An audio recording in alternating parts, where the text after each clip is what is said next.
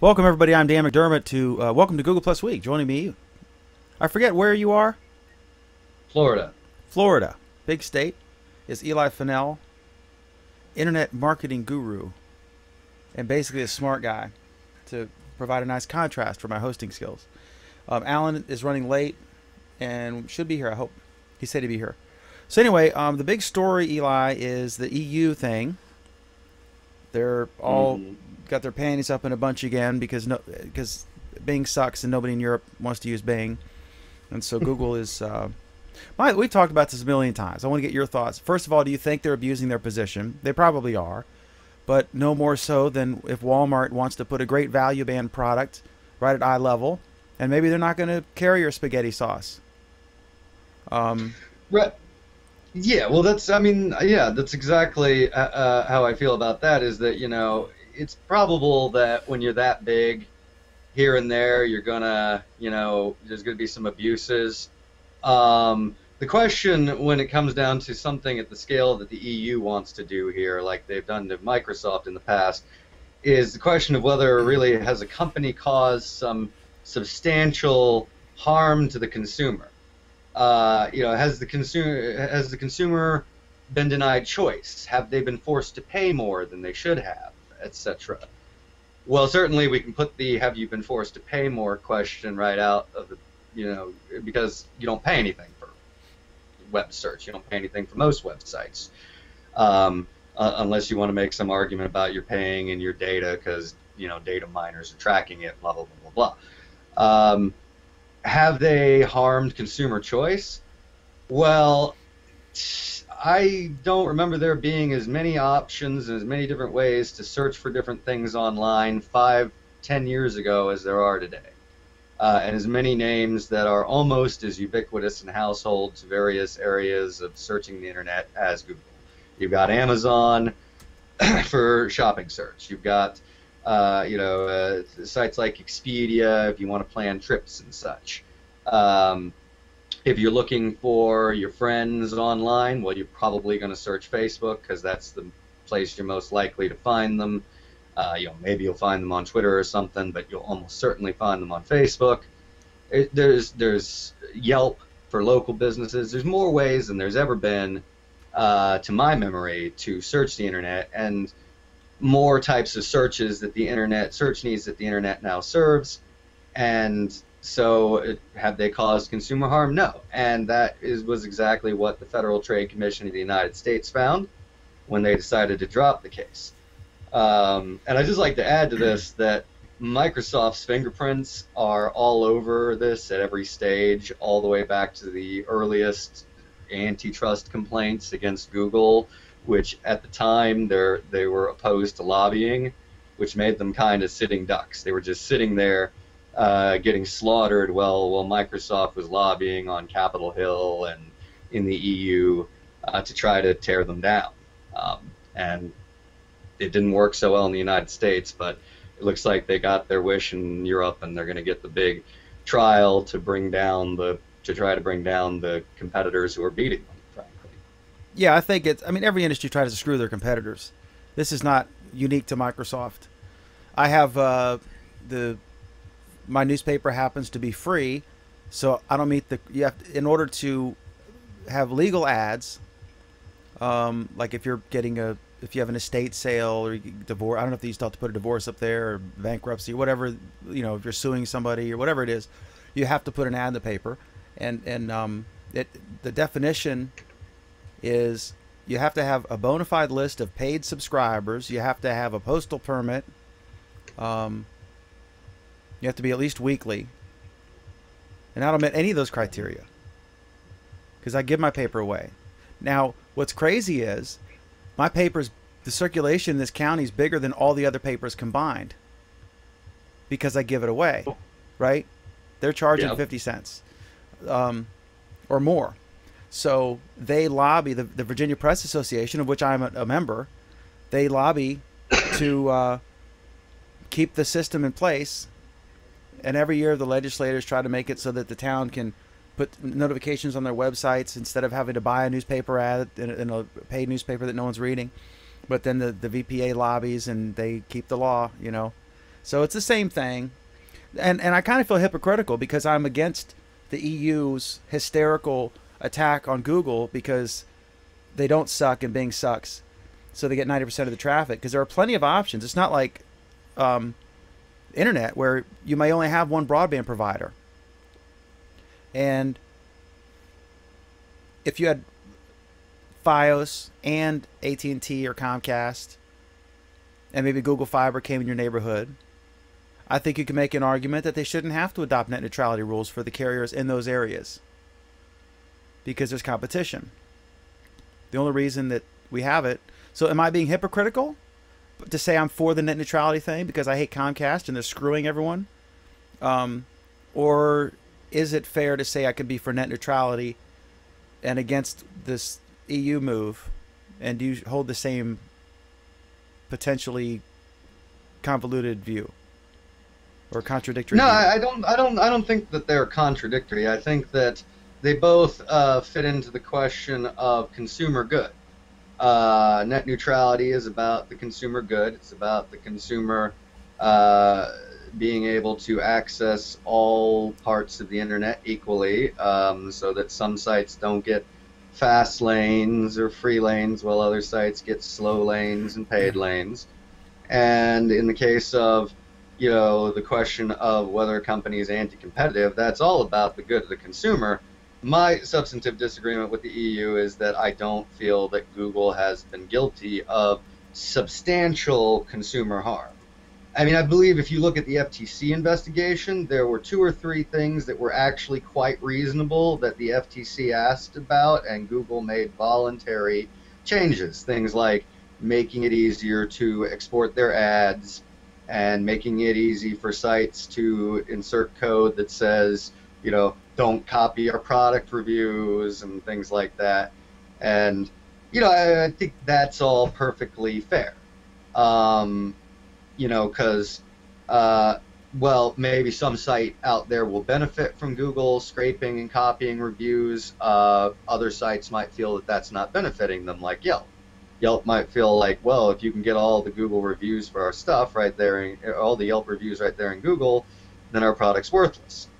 Uh, it seemed like they addressed that pretty reasonably here in the United States. In Europe, they had uh, the regulator, the, the chief regulator was Almunia, uh, I believe is how you say his name until recently, and he tried to come to uh, what was even a more sweeping deal in terms of Google, you know, agreeing to change their behaviors than what we came to in the United States. They were going to show Amazon product ads and, and Yelp product ads and such next to their own, which I don't think they should have to do personally for a number of reasons.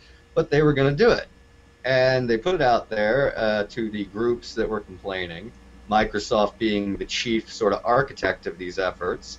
And they said, no, that's, that's no good because if they do it that way, people will just keep going to Google. So their basic argument was, no, don't do that because Google will still be the best search engine and people still won't want to come to us which is not even really necessarily true. I mean, Yelp gets 40% of their traffic through mobile. I mean, people do want to go to Google's competitors, just not as much. That's a matter of choice, and that's my feeling about that. Side notes um, that uh, he says go to do a search here, and he links to it uh, to actually go to Google and type in search engines. First one listed is Bing. Google's not even listed. I guess they assume if you're at Google, you'd know. DuckDuckGo, which is a, a cookieless search engine, I guess is the way to phrase it. Dogpile. But a lot of these are just aggregating searches. Like Dogpile, it makes searching the web easy. It has all the best search engines piled into one. Go fetch, they say. Uh, entire web. I don't know. I Well- guess yeah, there are more some that I didn't even know about. That's because it's actually really pretty worth worthless trying to compete with the big three. Big four, maybe. Who are the, the other two? Bing and Google. Who else? Uh, Yandex, and there's another one in. Baidu? Yandex is Russia, so whichever one. Oh, Baidu, thank you. There's no point in competing with them.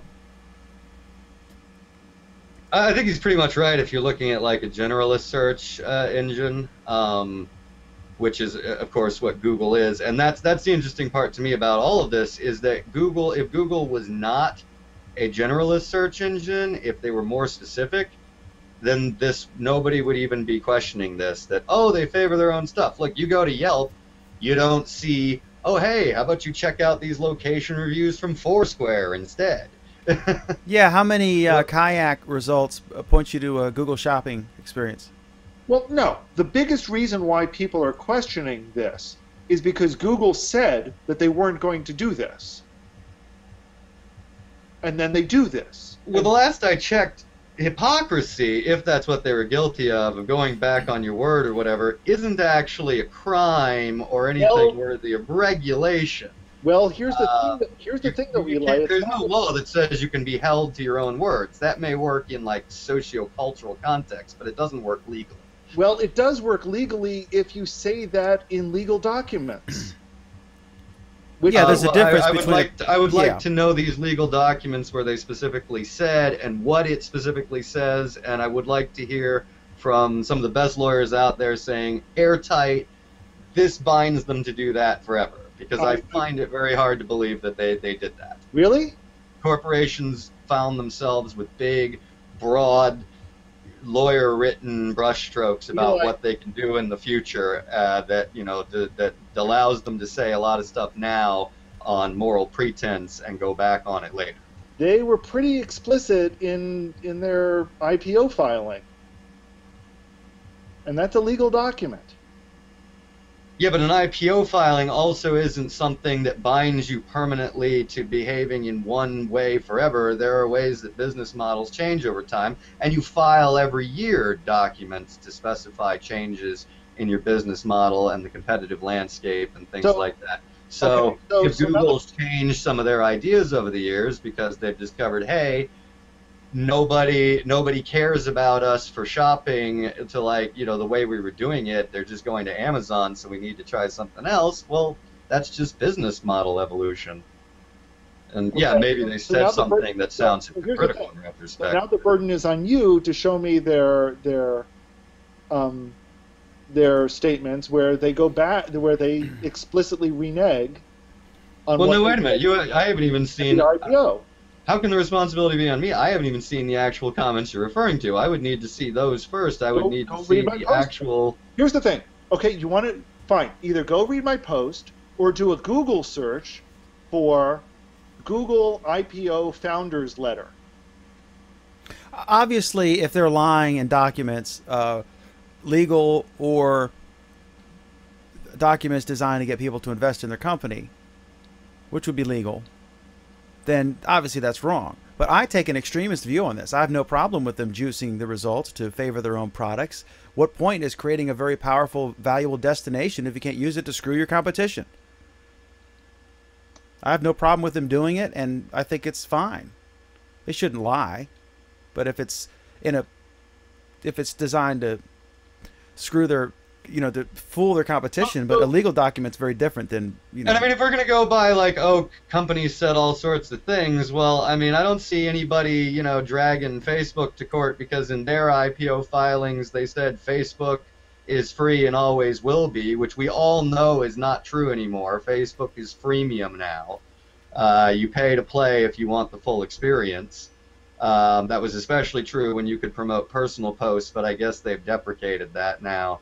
But it's still it's a freemium model now. So and yet they still say it.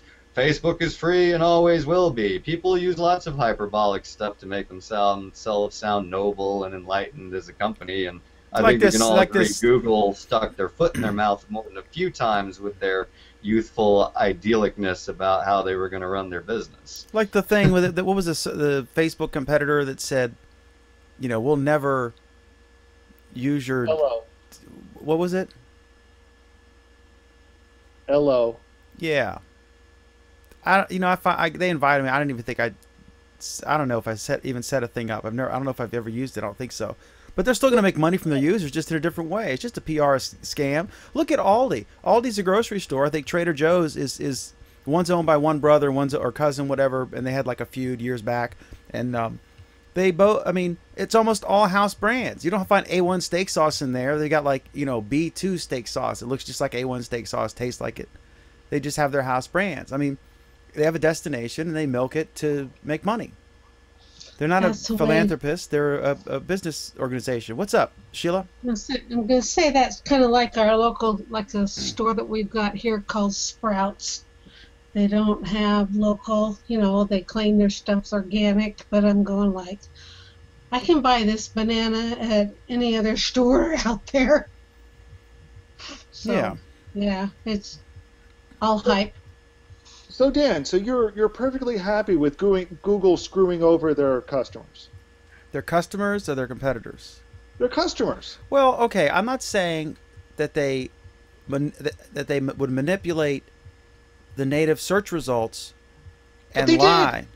I'm But they saying did. that if they put ads, they're clearly marked No, as ads, aren't no, they? no, no.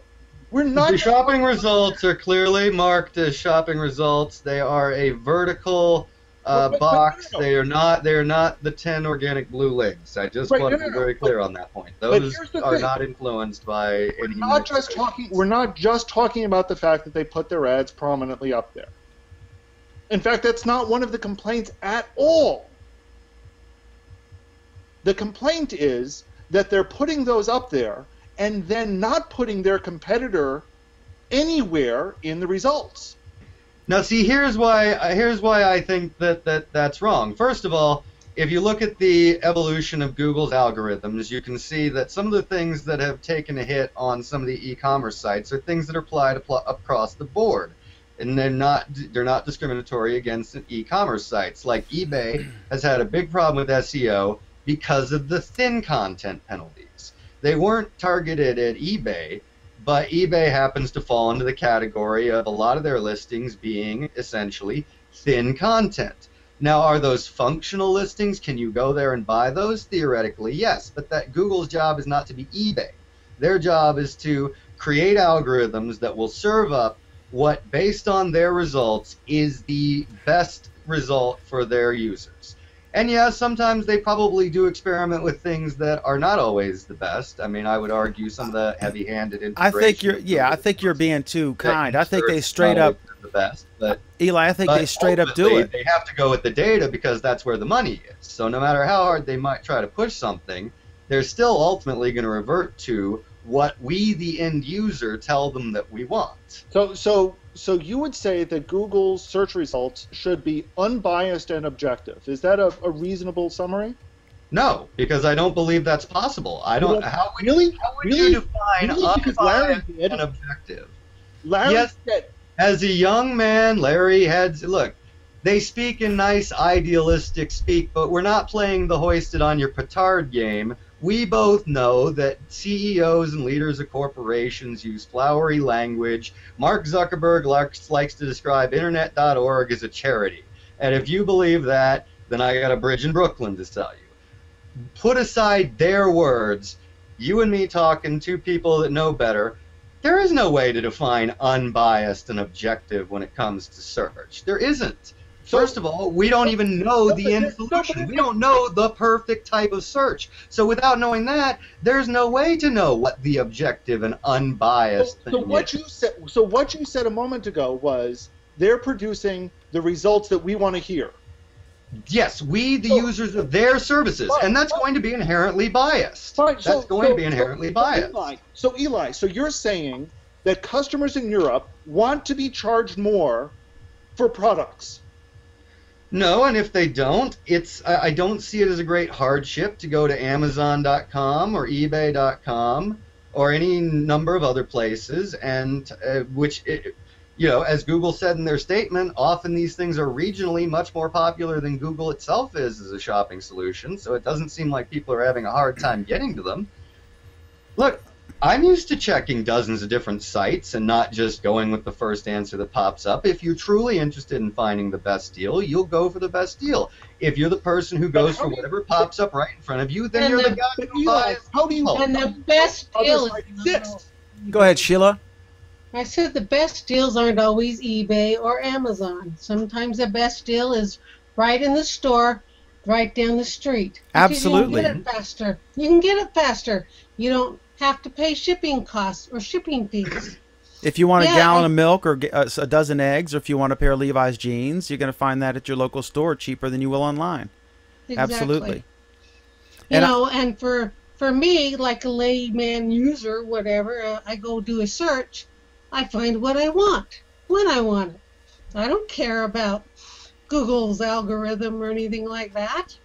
It gives me what I want. And also, you know, it's it's Walmart got into a big tiff with Rubbermaid and pulled their product from their stores because they found out that Rubbermaid was giving Kmart this is years ago. They found out they were giving Oh. Kmart a better deal on some product and they got pissed. Costco, they're the number one retailer in the country. The number two retailer, Costco, got into a tiff with Coca Cola, and they pulled Coca Cola products from their stores, and then they pulled them from the um, um, they they pulled the the Coca Cola products from their uh, their cafeteria, their their little food court thing, and there are all kinds of deals. I mean, grocery stores charge companies money to have product in their stores. A, a lady who worked Yeah. as a marketer at a grocery store said grocery stores don't sell groceries, Dan. They sell shelf space. They lease Exactly. shelf You know, space. Even at so my what's the difference? Yahoo, when they started, Sheila, I don't know if you remember, but Yahoo charged you two hundred dollars to get a listing in the search engine at first. they did. Yeah, Oh, and they were that was pre Google, so they were the search engine at the time. And what did Google say about that? I don't remember, but they started their own search engine to compete with them. And if people don't like Google and think Google sucks, then they can start binging things. And ten percent of them do. Uh, Would you like me to quote you what Google said about that? Sure, I'm sure you have it handy. I do because I have the founder's letter handy now. Um, where did it go here? Sound like Star Wars, the, the Right here we are. Our search results are the best we know how to produce. They are unbiased and objective, and we do not accept payment for them or for inclusion or more frequent updating. And when when Zuckerberg started Facebook, he bragged that there were no ads on it. Times change. and that it was free and always would be. Look, if you and, and that's I, I feel this is like a gotcha game. You know, if I were to go back through all the quotes of the CEOs of Microsoft, Amazon, Apple, Hewlett Packard, IBM, uh, I'm sure I'd find that they had all said similar things and then come around to different views later in life. And this is Oh, part of the problem of being a public figure too is that uh, uh, in in the age where you know stuff is recorded forever is if you do for good reasons change your mind because maybe you were naive and young and didn't know any better or just were confronted with a reality you didn't understand at the time Or thought that this now you're a hypocrite. Footlong Uh, is which is not the to say you weren't a hypocrite but nowadays you know are you a hypocrite because you changed your mind about something you said 15 years ago or was that No, it's evolution not just I changed my mind. It's I suckered in 96% of the market, and now they're stuck with it. No, see, but nobody not- used Google because Mar- Larry Page said that. That's so suggesting they they did. suckered us in. No, Yes, they nobody. did. People used Google because it loaded quick and gave the best results, and because they they did a good job of spreading their brand. It had nothing to do with any high noble stuff that Larry Page said. That I guarantee you, fewer than three percent of Americans have any idea what Larry Page has ever. Obviously the EU thought that because one of the charges against Google is that they're producing biased results. And remember, it used to be that everyone produced incredibly biased results. Everybody does include, but it, it does produce biased results. All search results are biased. That's the fundamental flaw in this argument: is all search results are biased. The the idea that there's some unbiased platonic standard is ridiculous. And I, I can tell you one of the things I see, for example, is in some of the complaints they go, "Oh, Google, they don't surface, you know, don't always surface the most popular alternatives." Well, so wait a minute. So the definition of what you should find is popularity? Well, then doesn't that mean once you're popular, you'll always be popular because no one will ever find anything else? Nobody has a chance to then become popular if somebody's already popular in that market. So that would say, that would be like if there's a hot startup and maybe it's not as popular as the big thing, but it's the thing that's exciting right now. You're saying they shouldn't surface because they're not as Now, popular. Eli, the comparison there you should be making is with the companies that are doing pay to play for network access. It is And and Well, how- it is pay to play in their advertising space, and they No, no, no, no, no. they use not what I'm saying. verticals in which they insert their own stuff. Uh, Eli, I'm agreeing with you on this point. Hang on. Chill for a second. What I'm saying is the comparison there is when Google was saying, hey, we don't, you know, we think that YouTube and Netflix shouldn't have to pay for network access, for, for the last mile network access, because there are up, you know, there, there are up and coming places that wouldn't be able to pay for it. So nobody should have to pay for it. That's the net neutrality principle. And in some ways, that's kind of what Google applied to their search results, is a net neutrality-like result. They're not going to favor any particular uh, any any particular company out there. They're going to be trying to create search results that are most relevant, not most popular, not the ones who paid them the most, most relevant for users. And the accusation from the EU is that they didn't do that.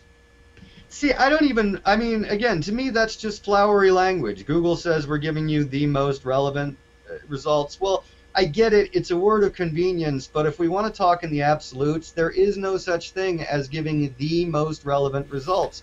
Relevancy It's is one of those buzzwords that gets thrown around. It's a You PR have 10 different buzzword. search engines give you 13 different results, and different people will tell you this was the most relevant based on their mood, based on tiny little differences in what they meant to be looking for at the time. So I, I just I don't buy this argument that Google's obligated. What I think they're obligated to do is to be somewhat is to be transparent. Well, their ads are labeled as ads, and their verticals are clearly Google verticals. Do you have a problem and with Fox not News? around and turning The- the, the blue problem- links. Do you have a problem with Fox ads. News saying they're they're fair and balanced, Eli? The, the problem is not with their ads and their verticals. The problem is that they then excluded their competitors from the search results. Well, okay, I but hold on. I, I would look at this like Fox News, Alan. Fox News says they're fair and balanced, and the best analogy I, I've see, I've heard is they're like professional wrestling. They really look like a news thing, and you know what I mean. They look for real. They sound good, but they say they're fair and balanced. And MSNBC purports to be giving news from the other side of the coin, and they're both spinning. And I don't know. I think they should be able to do whatever they want. Any final thoughts on this before we do two Uh, hours? Just to address Alan's point there, you know, just to sort of wrap that up as to um, them not showing competitors' results. Here's why I would argue that Google shouldn't be under obligation to show anything they don't want to, which is that they have absolutely no control what their competitors do at their end.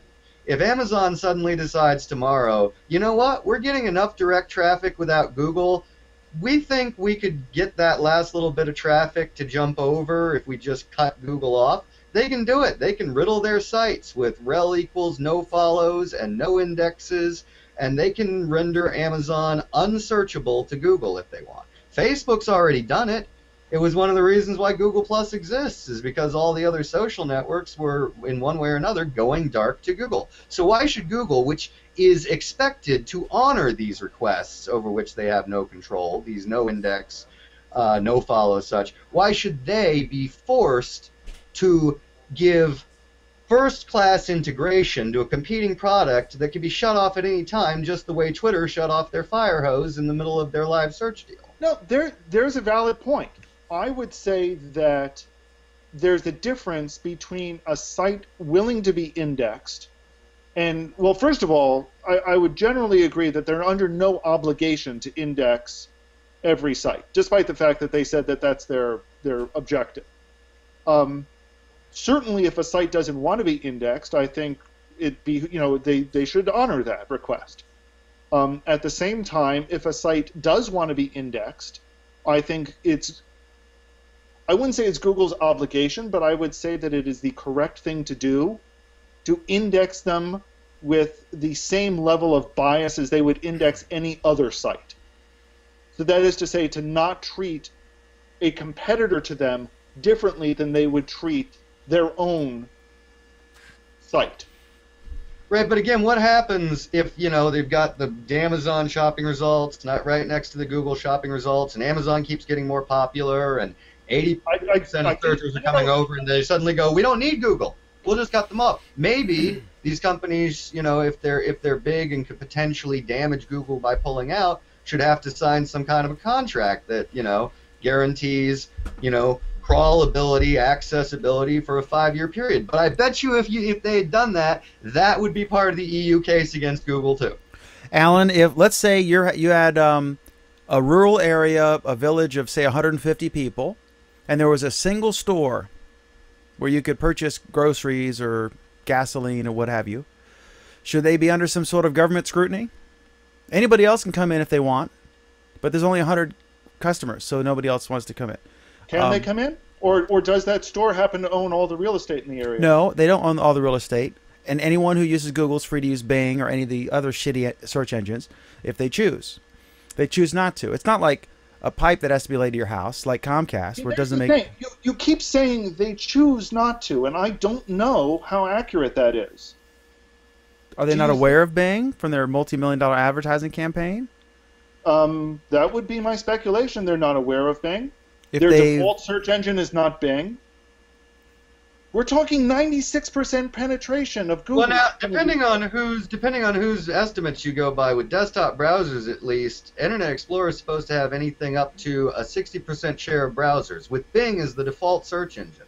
Now, I bet a lot of have no people have tried Bing.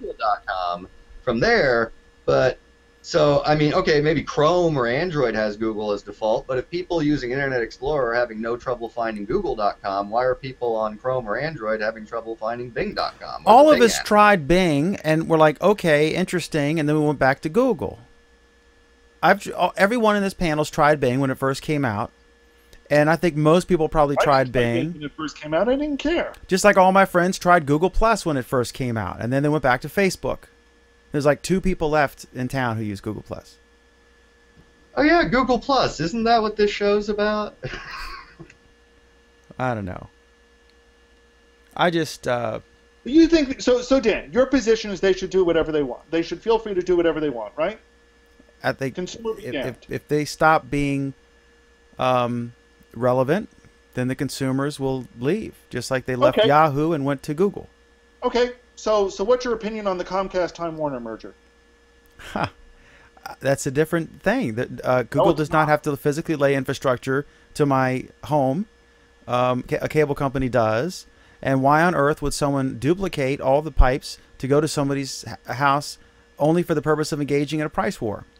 Google's doing it. Google's Um, doing it because Google doesn't care if they actually lose money on it because they'll make money by forcing everybody else to have faster internet. Google is the exception that proves the rule about how hard it is to compete there. As much Which- as I can't stand Comcast, their business services is good.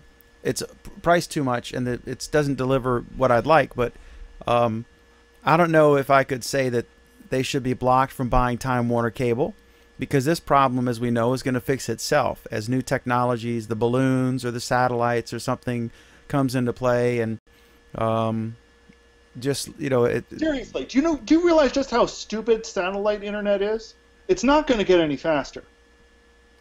We've Yeah, that one's dead. That's a dead horse. not the in, in the for many low orbit one that Elon's Musk and his buddy, uh, I guess his friend, they want to do higher, dumber ones, and Elon Musk wants to do the lower Earth orbit. He said is faster than f- fiber or something because it's partially in a vacuum. So they're but like it could the, be they're like the vaporware. Facebook drones. Literally Okay, it's vaporware. Like the Facebook drone thing. yeah, I don't know, but I don't see. They're faster. They still have higher latency. There, there, are, there are these things called laws of physics. You may have heard of them. Okay, fine. So, what do you think about the T-Mobile Sprint proposed merger? Isn't that dead? Well, it is now.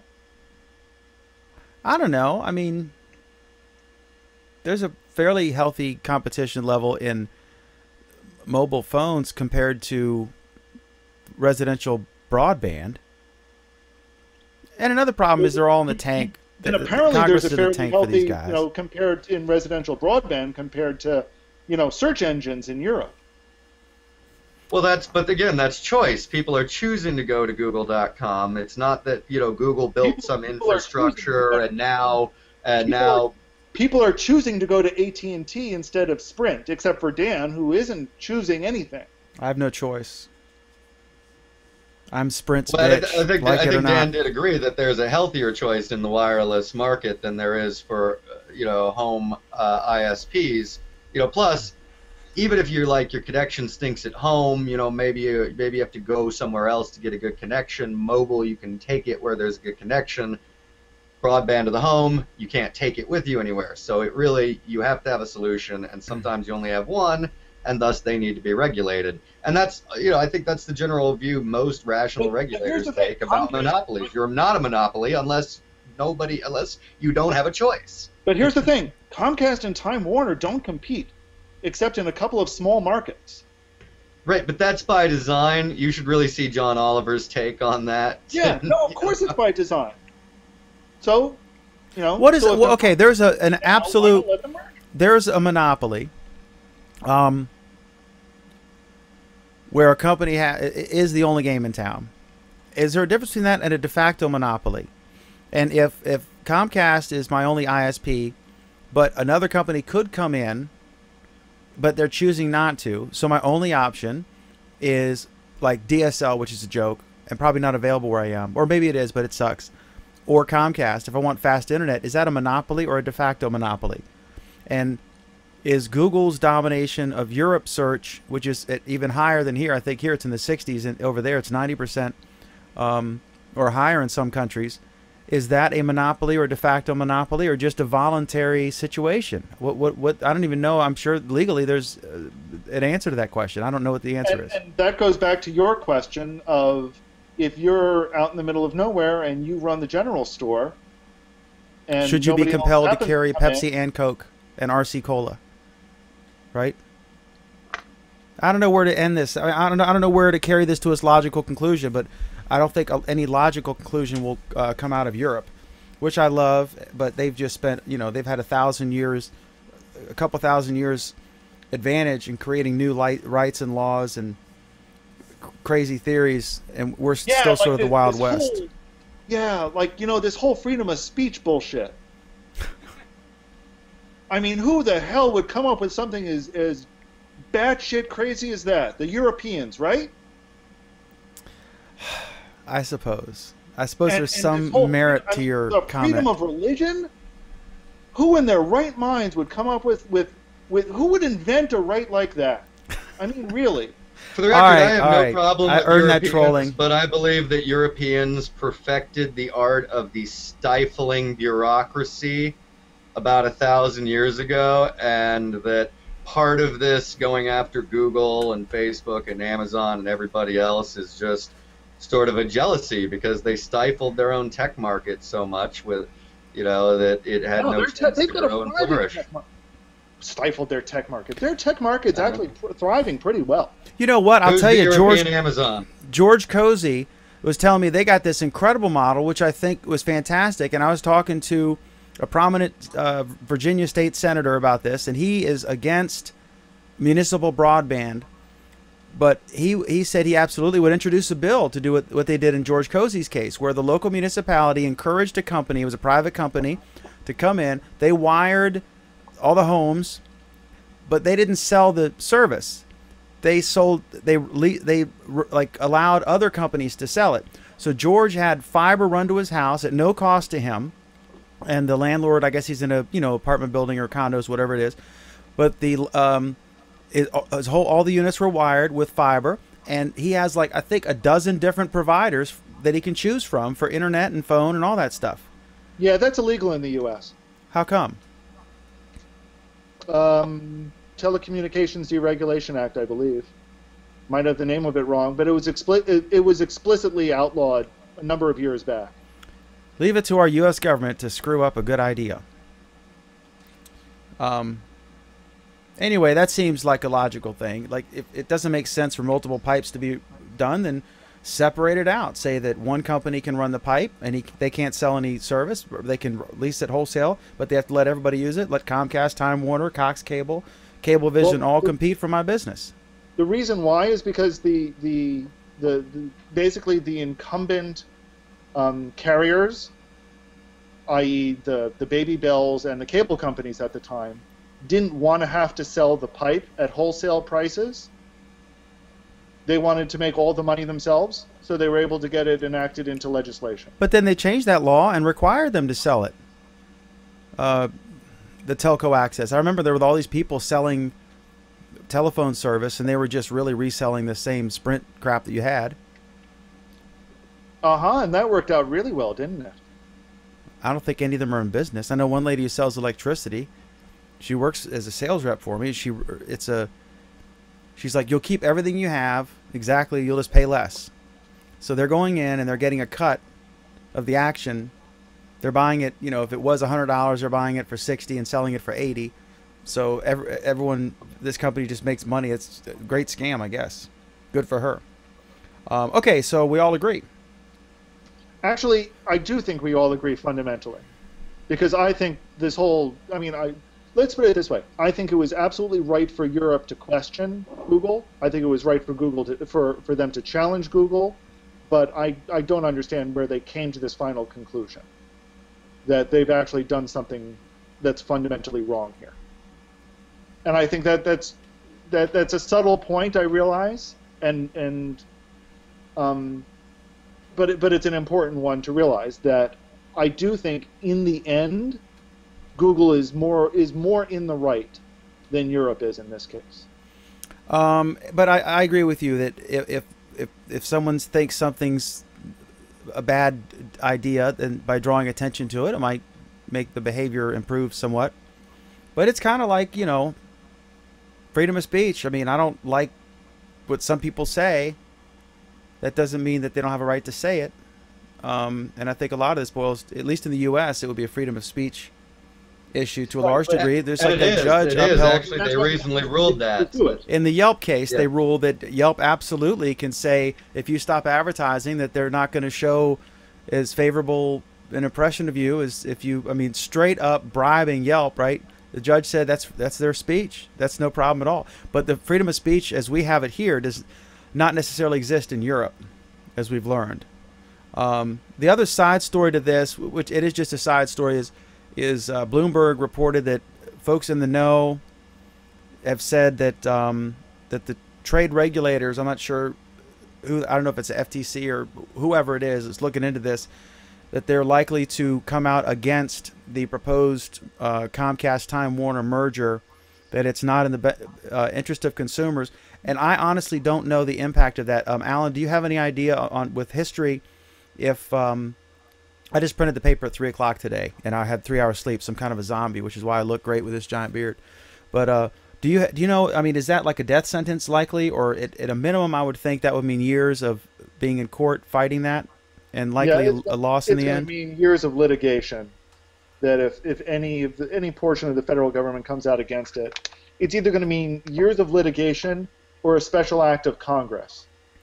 in other words, like um, the what was it? What were the two the company? It Was it T-Mobile and AT and T? And the regulars came out against it. Yeah, it And they lost first it- T-Mobile and AT&T, and then T-Mobile and Sprint. So any um, financial advantage they would gain by merging would be offset by tremendous legal fees, uh, likely down a rat hole from which they would not. In other words, it's just not worth the fight. So they'll probably give up if this happens after some saber rattling. That is usually what happens when uh, you know when the regulators say no or somebody in the government comes out against it. Is they just give it up because it's not worth fighting it. There is some truth um, to the old adage you can't fight City Hall. So there. Okay, so there we have that. Um, all right, we just wanted to touch on that first story there, and now we'll really delve into these others. Just kidding. Okay, so this next one Google has patented the ability to control a robot army. And I've got these topics um, in our in our Google Plus Week Flipboard magazine. If you go to flipboard.com or download the app and just search for Google Plus Week, you'll see the same picture that I have, or, or the I forget what it is. If it's the logo for the show, which is this, or you'll see my shining face. Either way, um, that's the magazine with the topic. So, Google has patented the ability to control a robot army. And this is kind of a short story, but so I'm not sure exactly what they're doing. But I mean, does this? They're saying army, but it, I don't know if they're talking about like microscopic things or if they're talking about let's go kick some ISIS ass and I'm going to bring my my Dan, Galaxy Note 2 and Dan? control these little soldier guys. Dan? Yeah. Dan, you do know that Google owns a company that builds Yeah. combat robots, right? Yes, yes. So this literally could be. That's literally what they're talking about then. But is it a Google patent or is it a patent No, by the sub not- sub thing? I'm going to disagree with Alan here. This is not a literal army. This is somebody trying to write a catchy headline. This is really just about a deployed uh, group of robots that are, you know, to which they can uh, allot tasks uh, based on algorithms and intelligence. And yes, Google did buy a company, Boston Dynamics. Uh, that with any fringe fans out there, by the way, that always makes me think of Massive Dynamic. Uh, that makes combat robots, but remember the Google driverless car also were the winners of DARPA, so it's quite likely, it's almost certain that it's the same thing. They're, it's going to be for consumer stuff, enterprise stuff. They're not going to make killing machines. Uh, they have enough bad stuff attached to their names as it is. I'm pretty sure So- they're not going to make autonomous killing robots for the military. Remember that? Uh, what was that website where you could kill an animal? They they hooked up like a rifle and they had some like, I don't know, a deer or something. They'd stock a field with these poor animals, and you'd literally like have like your joystick at home or whatever, and you could like pay and with your Visa card, and you could literally like hunt. I mean, just like, oh my god! And then I guess they'd pack it up and freeze ice, uh, dry ice, and send it to you. Just kind of macabre. But that'd be kind of badass if I could like you know, get some ISIS guys for my living room. Um, I'd pay for, I'd pay 19.95 a month to do that.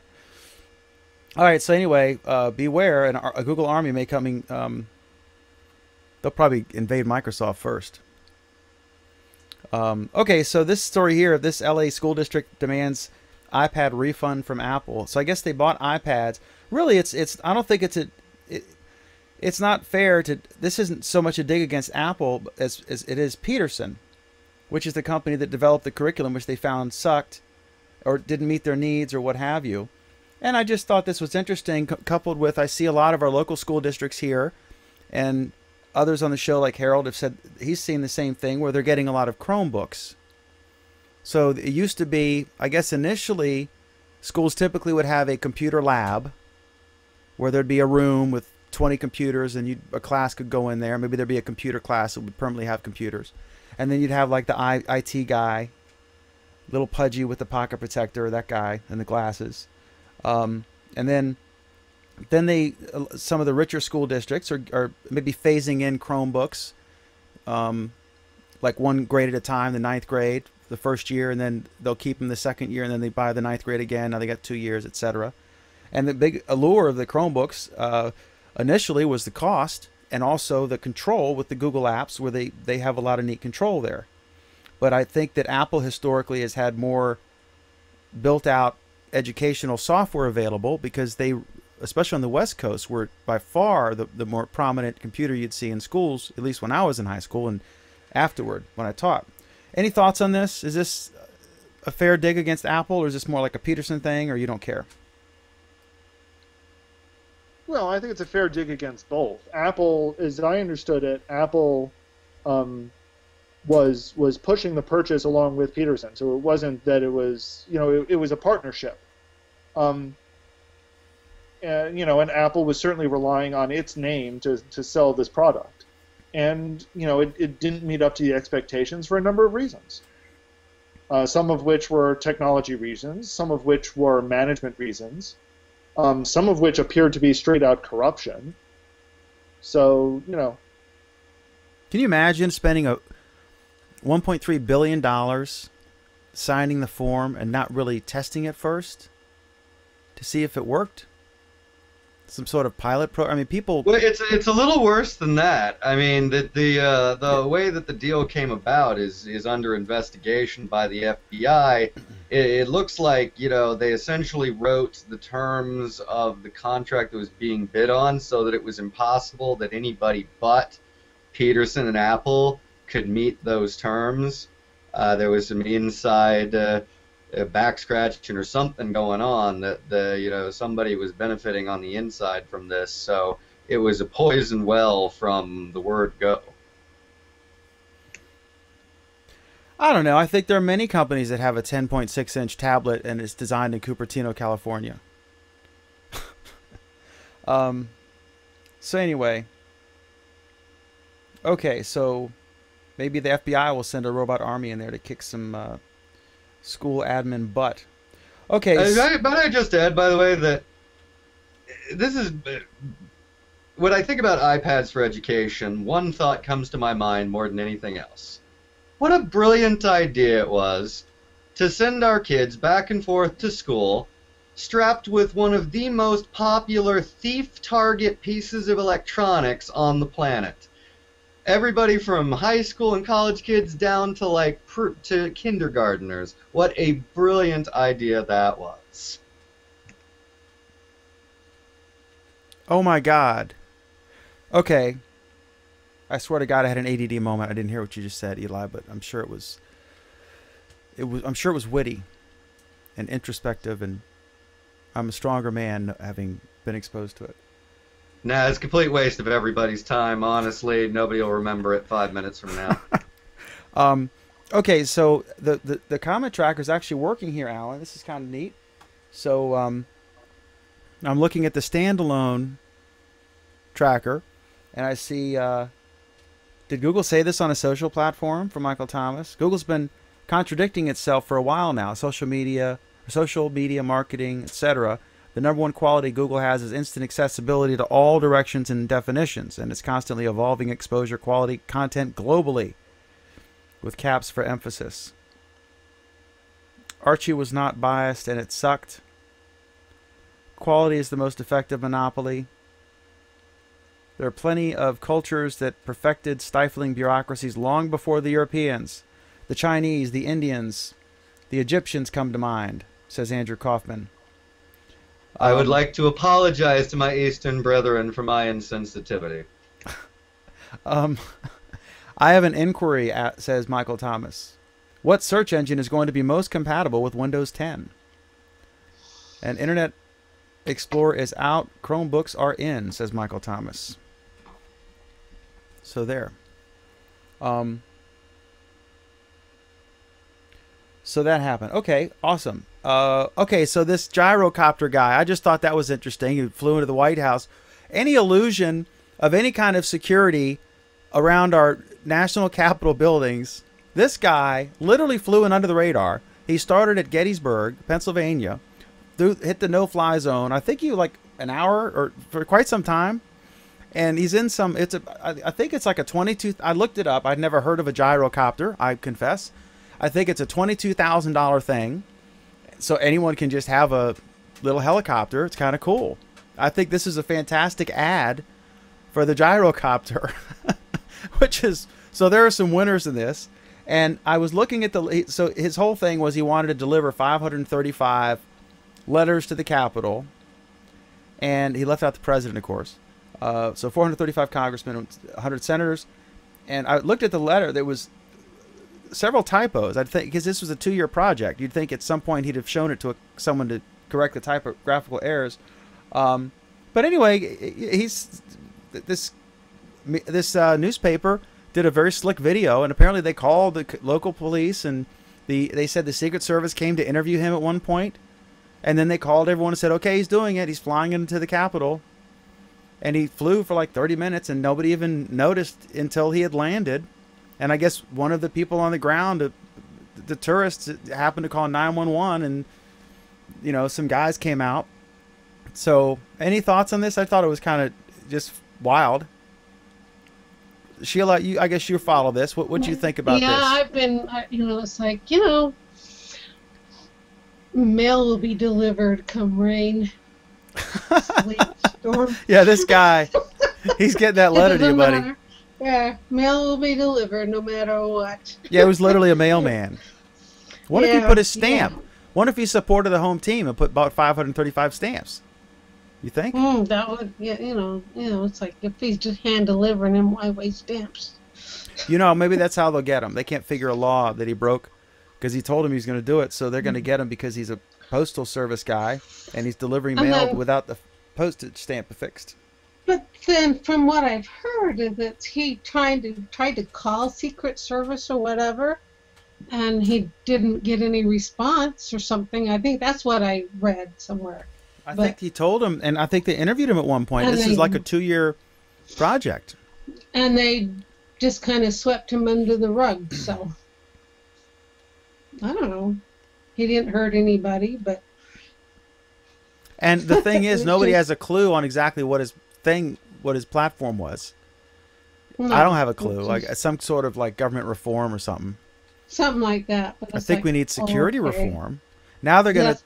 they're gonna put spikes on the White House fence, like like technology from, like, spikes.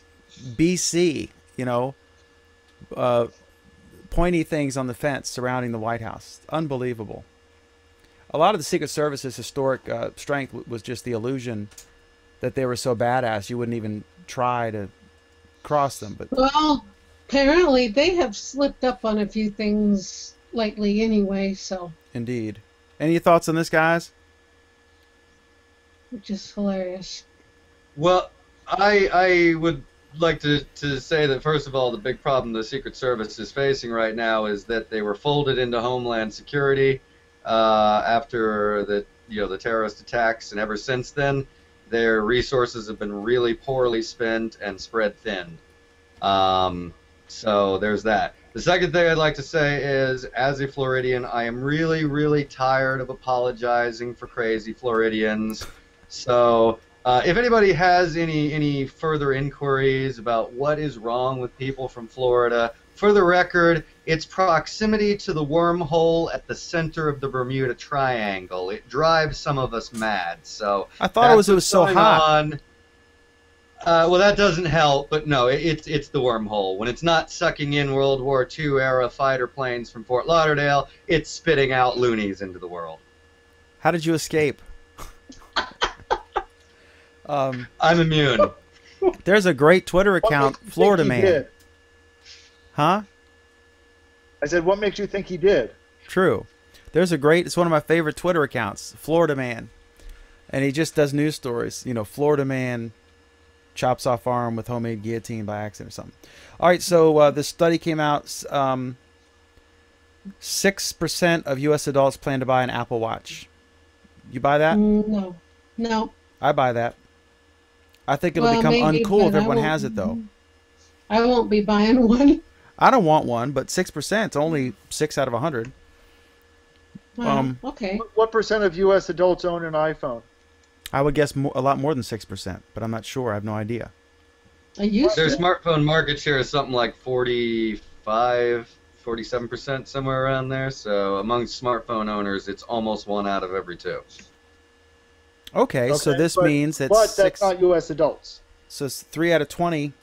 So about fifteen to tw- fifteen to eighteen percent of people who have a, an iPhone already would, are considering um, this product. So that could be viewed as a success or a fail. I, I would like to point out that I read a study back shortly after Project Glass came out that they surveyed uh, U.S. adults, and 70 plus percent uh, were interested in the idea of buying smart glasses. The single worst form of data that you can use in the sciences as, as a proving anything is self-report survey data. People say, I want this, I want that, I'm going to do this, I'm going to do that but everybody lies, as Dr. House would like to say. And if this was six percent of American adults plan to buy, uh, say they're going to buy glass, how much you want to bet all the websites? Ninety-four percent of the people have no interest in buying glass. Good point. Um, which is basically what happened.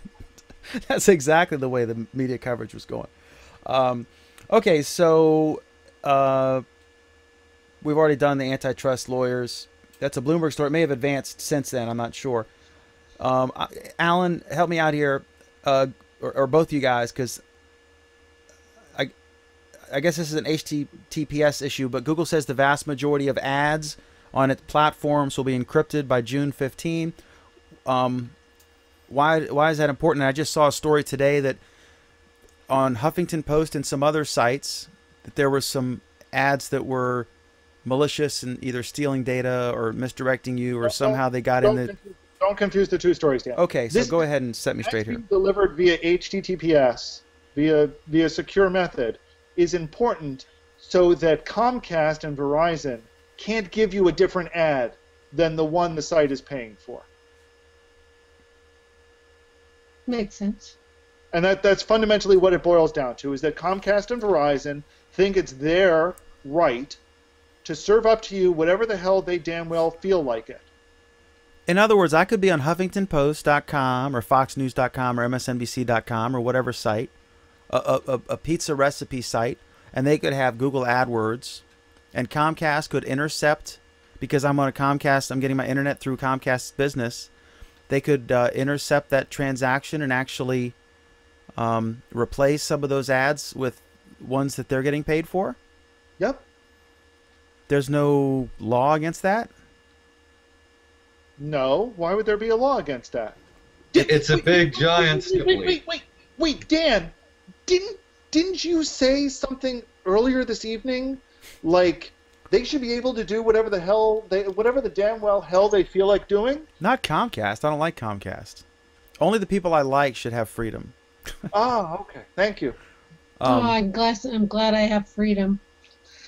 so For my money, you know, for my money, it's just it's it's it's about honesty. You know, I mean, if if I go to Google and I see the Google ads, they say ads by Google, and I you know I know that they serve ads. So isn't if that I'm a using tortuous Verizon, interference? Comcast, whatever, I should know that they're going to serve ads over my stuff, and I should know when they're doing it. Well, what if what what if uh, are, are two different companies paying for the ad, only one showing? And wouldn't Yeah. that be tortuous interference in a business relationship? No, because you don't have the business relationship with the web page, and Comcast certainly doesn't have a business relationship with the web page because they're a common carrier. Right. Now they are. You ever heard of something called Sniply? Even the average person can do something like mm-hmm. this. They take your site, they run it through the Sniply, which produces this link, right? People click on it. What they don't realize is they're going to this Sniplified version of the page. Maybe it's not Sniply. I, anyways, whatever it was, it, whatever it is, it serves their ads on top of any other web page that they that they use this link to. So you don't they realize call- that they're the ones making the money, the person who is sending out the link. Isn't that what they call clickbait? Uh, no, I believe clickbait technically means like, is just like a headline that draw that says promises one thing and does another. That says like uh, Google's gonna control a army of soldiers with my Android phone. That's clickbait. Well, if you go to, go to click on something and then you go to something else entirely different, isn't that clickbait? No, clickbait is like 15 people you won't believe exist. It's just to Hmm. suck you in there. It might actually be interesting, but you know, how can you not click? Um, Yeah, So- what what, uh, what what what Verizon's doing is a little bit more like a man in the middle attack, where they intercept your communication and then insert something of their own into it. Except you could argue it's not technically an attack. Well, you could say it is, if, insofar as it constitutes something of an invasion of, of privacy.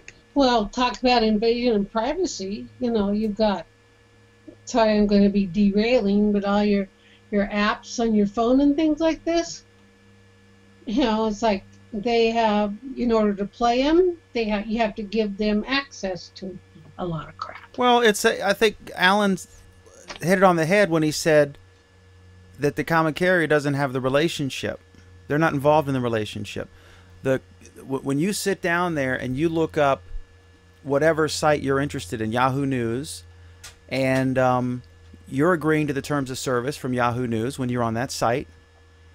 That's that thing that none of us ever reads, and and um, if if Comcast were to replace all the ads that Yahoo's trying to serve. And all this happens in a split second when you go to a website. It's actually creating the site, and many auctions are occurring. Maybe 30 auctions are happening right then as the site's being loaded, and that is what causes the, the uh, ads to appear. So if Comcast can interfere with that and interrupt that space and put their own ad in there, I almost think you could have a copyright violation, but I don't see how. I think it's like it sounds sinister, but I don't. I'm trying to think how that could be illegal, and maybe Congress would have to step in, but maybe they shouldn't. I don't know. But I, um, I think there are Chrome extensions which are considered malicious that do this. Right. Well, here's the well, no, there are Chrome extensions that are considered malicious by the advertisers, like AdSense. But no, one can make the argument that this is a copyright violation because, um, because now, mind you, I think this is a bogus argument, but because the copy only the copyright holder has the right to create a derived product, a, a, a derive something from um, their copyrighted material. And all web pages are inherently copyrighted material because they're something that has been fixed in a permanent form. Now, this is bogus in a lot of ways, but one could make one could at least try to make that argument. Um, what is the I- difference? the- And don't don't cling to commercial speech is not as protected as political or otherwise speech. Uh, that would be a shaky argument, but perhaps relevant. Did maybe I not. Claim, did What I is the- close to claiming that? No, no, no. But but that's that's the logical defense to this or answer to this question. What is the difference in Comcast um, interrupting the ad for the Chevy car and instead putting up an ad for a new program that's coming up on NBC, um, which is what you're saying that they could do. What is the difference between doing that and when I go to a Yahoo News and there's a story that Comcast doesn't like that's news content and replacing that with a, a glowing story about how consumers will benefit from the Time Warner merger. What's the technically what's the difference other than one they're replaced they're interrupting the delivery of a news story to the consumer and in another case they're interrupting the delivery of, of an ad and replacing it with their own ad. Either way they're manipulating and I don't see how ads are not speech just like stories. This isn't a speech issue, though. it could be. You wouldn't think the Well, Yelp thing was. That's how that that's how. Yelp won the art the, the case against the guy who said that the, the no, the- they stopped the advertising and they got screwed. If for some stupid reason they actually tried to make the free speech issue, then the counter argument would be okay that that means that Comcast, by the nature of delivering anything, okay, is now violating the copyright of the original copyright holder. So Comcast would have to pay for each and every bit that gets delivered out of copyright license. And remember, copyright is also a constitutionally guaranteed right.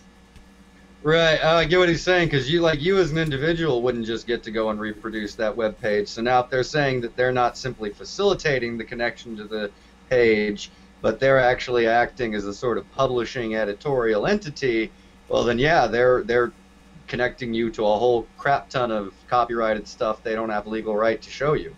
I'm just saying if they okay, this is a selective service thing here, um, and it's uh, the kids filling this out. But if they have if they have a right to replace the content in the red box, which is an ad, and the story is here, okay. If they have the technical ability to replace this, where where is it that says they can't replace this content? That's my point. Now, clearly, you could make the argument. Well, one is an ad that they're not even writing; they're just delivering, and probably from a third-party ad network. And this is editorial, so clearly there's a difference. But I don't know if technically there's a difference. No, technically there's no difference. And and here's the thing, both both Comcast and Verizon have been caught changing web pages and not just changing ads that are streamed down, actually changing the content of the web pages. They've been caught doing this already. Yeah, this is a legal gray area and one that I, I actually think of a lot because I think, uh, you know, I like to use a lot of browser extensions. But sometimes I think, like, you know, for example, if I use a browser extension that blocks ads, and I mean, I do, I block some ads because I feel that the, the companies that provide them, uh, you know, aren't protecting my data.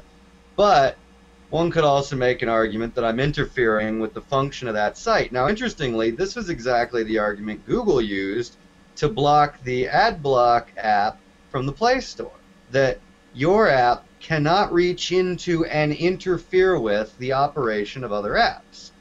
And yet, we're able to use all these extensions and stuff, which can do pretty much exactly what we're talking about change the content in the middle before it reaches us at the end, and that can deny websites advertising revenue and information they need to uh, track demographics and uh, but I mean, so am I a hypocrite that I like to have that freedom? My view would be maybe the line needs to be that the user has to know reasonably what they're initiating. So you don't get to slip that in the back door and alter their content without their knowledge. You know, Eli, you just you just pointed out something that I suddenly don't know the answer to, and that's do extensions have access to secure content? And I don't think they do, unless they've initiated it. Good point. Good point.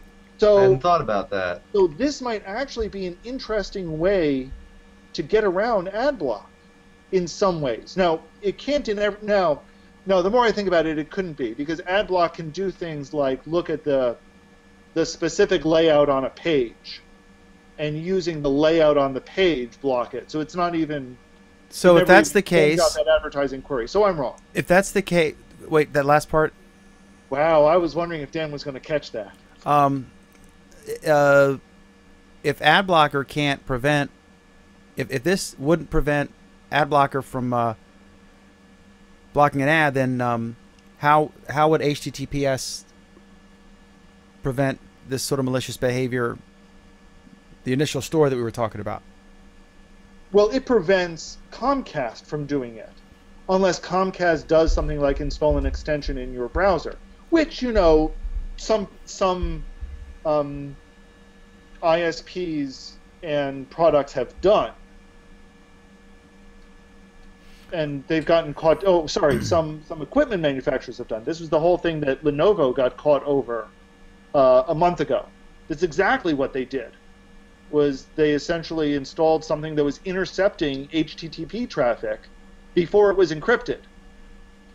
Okay, so now that we've had a really in- in-depth topic, which was actually far more interesting than I had anticipated, uh, and that brought uh, that's a really interesting thing. And, and I think that the scary thing is if they can interrupt the delivery of an ad, they could de- del- interrupt the delivery of the content. And I don't know if one's necess- if one's legal. I don't see how the other one is, but I guess you could.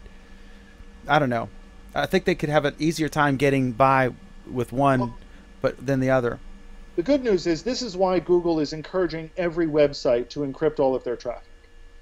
two crazy stories, then I want to do comments. We're going to do a fun story about the Roomba lawnmower and how astronomers are angry about it, which is a wild story. But it, This is not a funny story at all. I, I agree. But but before we get to that, um, I just wanted to get your take on the Star Wars trailer. I did not know Harrison Ford and Chewie were going to be in it. And isn't it like 40 years? What was the original movie? 76? 77. Oh my God! It's 38 years. The cast just won't die. I guess Alec Guinness died, but like most of the key cast are still alive, and I think a lot of them are going to be in this. And you know the the the sound effect from Chewbacca.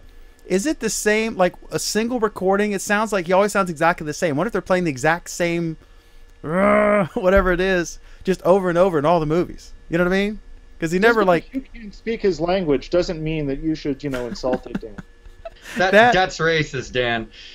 Oh my No, God! seriously, th- now I've they've been offended. using- They've been using the same Wilhelm scream in in movies uh, for like 70 years. I'm pretty sure that it wouldn't be too far of a stretch to keep using the same Chewbacca growl. See, I should have known. We've added a new panelist with fairly long hair and facial hair. I should have known better than to use all my Chewbacca material. Um, risk of offending you. Uh, but uh, the other thing was, I thought this. All the union people will get freaked out, but this is pretty ballsy. Th- th- They had these protests at WalMarts, and um, from higher wages and, and unions and stuff. So Walmart, they went in. This is so blatant. They went in and closed like I don't know if it was three or six stores. They just shut them down for um, and they were like the union organizing stores and the protester stores. They just shut the whole store down, laid off 500 people per store or something, and they said there's some plumbing issues. It's going to take us quite a long time to go through the the store and determine the cause and the seriousness of the plumbing issues. And so they just shut the freaking store down until further notice, and like everyone's fired or laid off. That is just so obvious. um, I, I I'm surprised, but you know they're all like, well, they they haven't pulled any plumbing permits or anything, but it's just so. Anyway, I just thought, uh, and then I'm going to go That to comments in a sec. the Star Wars trailer? Huh? That was the only thing you had on the Star Wars trailer, really? Okay. No, I thought the Star Wars trailer was fantastic. I, I, I it was, uh, and then the Batman versus Superman thing leaked today. It literally leaked. I guess it was in a theater and overseas, and someone had the phone and was secretly recording the trailer. Um, I don't understand why Batman and Superman would fight, but I think They that's, always found some reason, red kryptonite or something. but one had to have been overtaken and lost his senses because they're both good guys. And let's not kid ourselves. Uh, Superman would kick Batman's ass. Hey, hey, hey, hey! Now, I was a devotee, a religious devotee of the comics, and I read all the Batman, Superman things. And I got to say, I, I agreed with Batman's assessment of Superman, which was, "What are you doing, standing there letting them shoot bullets at you, you idiot? Fly away from the bullets." But I'm invincible. Well, what if they made the bullet out of kryptonite? Oh, it'd be like Kiss versus Hanson. I mean, come on. Superman would, you know. Anyway, we may not be able to solve this issue, but we can we can solve the We- Roomba we thing. a But comment first, pointing out that Peter Cushing is also dead. oh, oh my God, someone's Wikipediaing the entire cast. Or oh, I Oh, guess on. I am Peter internet. Cushing is pretty damn well known. I don't even know what what was he? Was he Chewie? He was Grand Moff Tarkin. Dan, have you ever like watched the movie at all? Yes, I didn't. I don't remember the. I was a kid. I was eight. No, I was nine. Cut me some slack, Furstenberg. And you know what he does while I'm talking? He's half listening to me. He's half looking stuff up. Then I switch to him on camera, and then he trolls me like he knew it all along. He probably like I- I- he just I happened to memorize the date Cushing died. I had forgotten that Cushing died. I, I had forgotten it until someone, and it was one of our, it was um, uh, Andrew Kaufman who pointed it out. But once he pointed it out, I'm like, oh yeah, right, of course. Andy Kaufman's dead. This is an odd twist. Hasn't Andy Um, Kaufman been dead for a while? He did a badass uh, Elvis impersonation. So anyway, um, let me look at some comments here. So I see. Uh,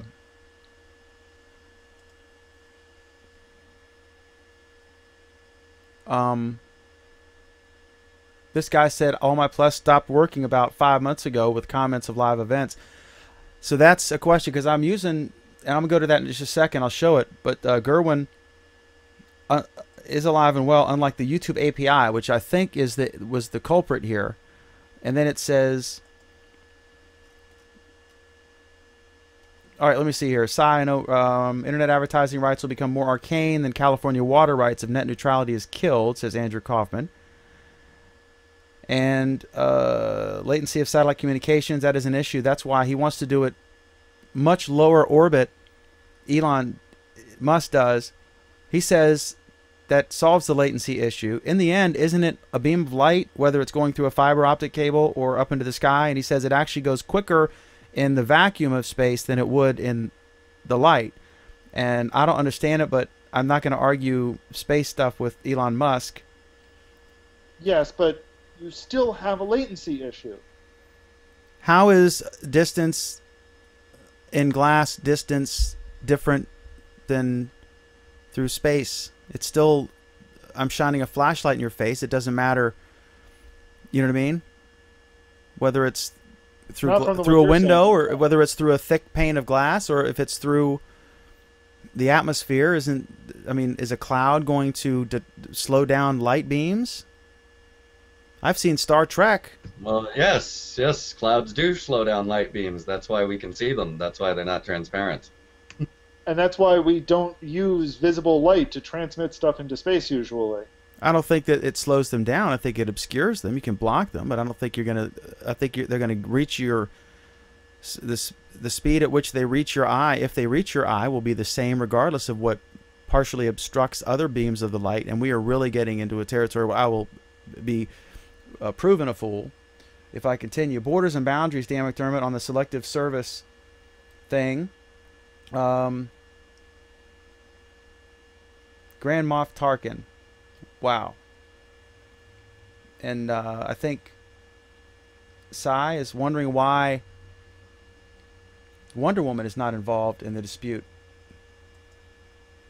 Perhaps between uh, Batman and Superman. So, yeah, so I'm looking here. This is the thing, but I don't think it's doing the live comments on YouTube, of which I see none.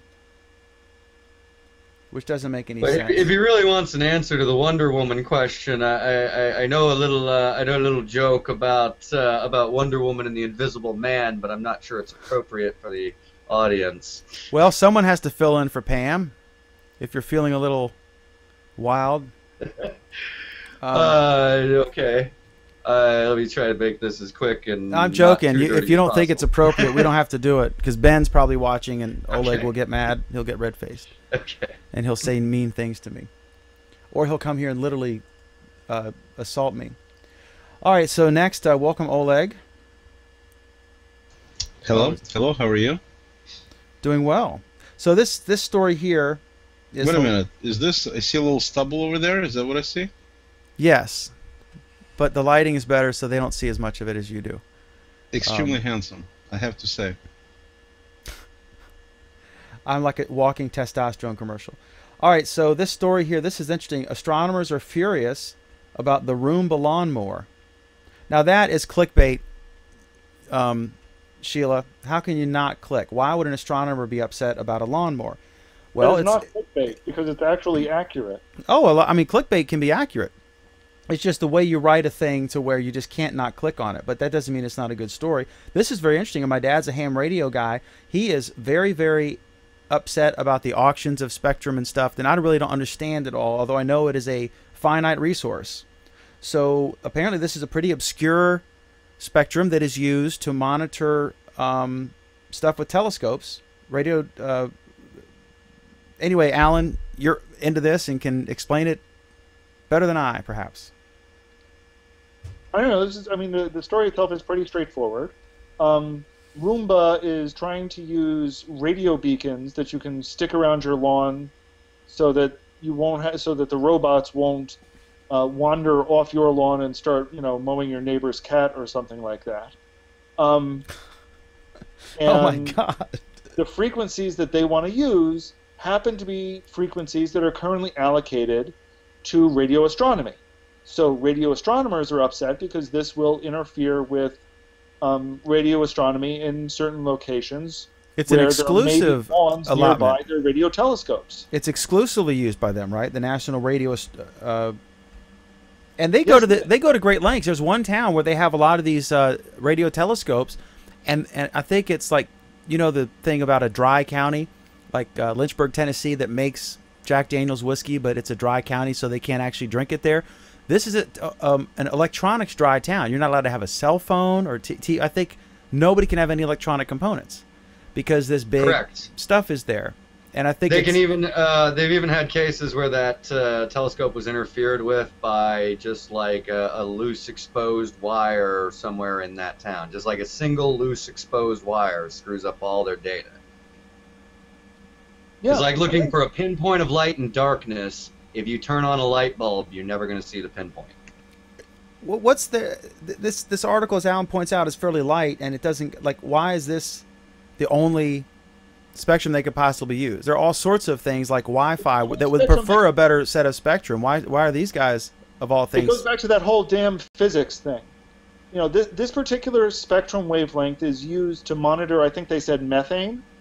That happens to be at the frequency that methane radiates. You know, that that the radio uh, the radio waves indicating methane come in at. Um, and if you need more details on what that means, I suggest you go watch all 13 episodes of Cosmos. It's available on Netflix. Really, really fun watch. But he does explain this. Perhaps I could install it in the teenager's room because that's Uh, in, in, in my view, it's much more important that we have access to those frequencies for radio astronomy, for scientific purposes, than for Roomba to have robot lawnmowers.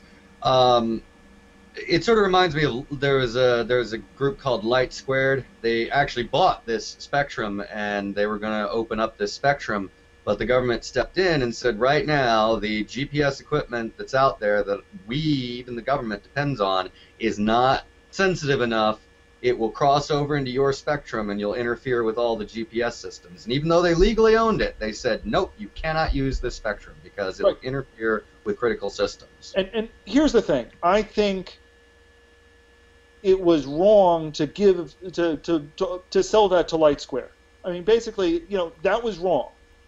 But it was right to then deny them use of it. I think it was unjust how that ended up, but that was absolutely the right thing to do. In this case, it's not clear to me why Roomba can't use a wide variety of other uh, of other publicly licensed frequencies to do what they want it to do. It's probably the best frequency for their application, but they, I mean, it's a classic conflict of of what they want. You know, certain frequencies like Wi-Fi is actually a terrible frequency for Wi-Fi. The spectrum's terrible. Uh, it was that's why they let it because nobody was really using it for anything serious, so they gave them this crappy spectrum, and here we're stuck with it. iRobot, uh, it's summed up kind of in, in there's two statements. The iRobot um, RLM will be marketed for consumer use only, and iRobot has offered to place a notice in the user manual and on the robot that states consumer use only must be used uh, limited to residential areas, and the NRAO says a toothless admonition to use only in residential areas does not suffice. So we have a classic thing. And probably I don't know what what'll happen because this is obviously not a sexy topic that's going to be all over the news. Although maybe it will be uh, in mainstream news because it's kind of what it interesting. boils down to, though. iRobot has no right whatsoever to use that frequency right now. None whatsoever. The frequency has been allocated. It's being put to a reasonable use. iRobot has no justifiable reason to get it. That, that's fundamentally what it boils down to. Okay. It's Yeah, not And I want us to find aliens, darn it. I don't care about robots, I want aliens. You are the antithesis of the Florida man. And a wonderful addition to our panel. All right, so um, we're we're in the geek camp. Although I would I would be the first one to buy one of these lawn Roomba things. I mean, I would buy that sucker in a second. Um, oh yeah, that would be neat. I've even thought about why do they have one? You know, then you could have a whole thing. This would be a whole industry of people leveling out lawns so that the, they could use the the robot thing. You know what I mean? I could see like people doing this. How would that work with your bear incursions and stuff? Well, the bears would have to. Maybe it could uh, uh, play some sort of sound, some bear repellent. the repellent. bears would eat the Roomba. Exactly. What about sting bugs, Dan? I've I've conceded that it's their home and I'm just occupying it. I've given up on the stink bugs. Are they the Roomba compatible? I think so. I think they're fine. So, this story here, Jerry Seinfeld calling YouTube a giant garbage can. I always get nervous, and I'm not at all upset. I, I just thought it was interesting what he's talking about. I always get nervous when people write stories about something a comedian said because you never know how serious they might have been. Like the new guy who's taken over Jon Stewart's thing, and he said some stuff that was offended some folks. You know what? a comedian is going to offend people sometimes. And I remember when Don Imus gave the White House Correspondents thing, and he said Don Imus liked jokes, and then they were all, you know, he offended Clinton. Well, did anyone look into Don Imus before they invited him? If you invite a comedian, you know, someone might get upset. So, so what? That's the First Amendment. The First Amendment exists to protect unpopular speech, specifically for that reason.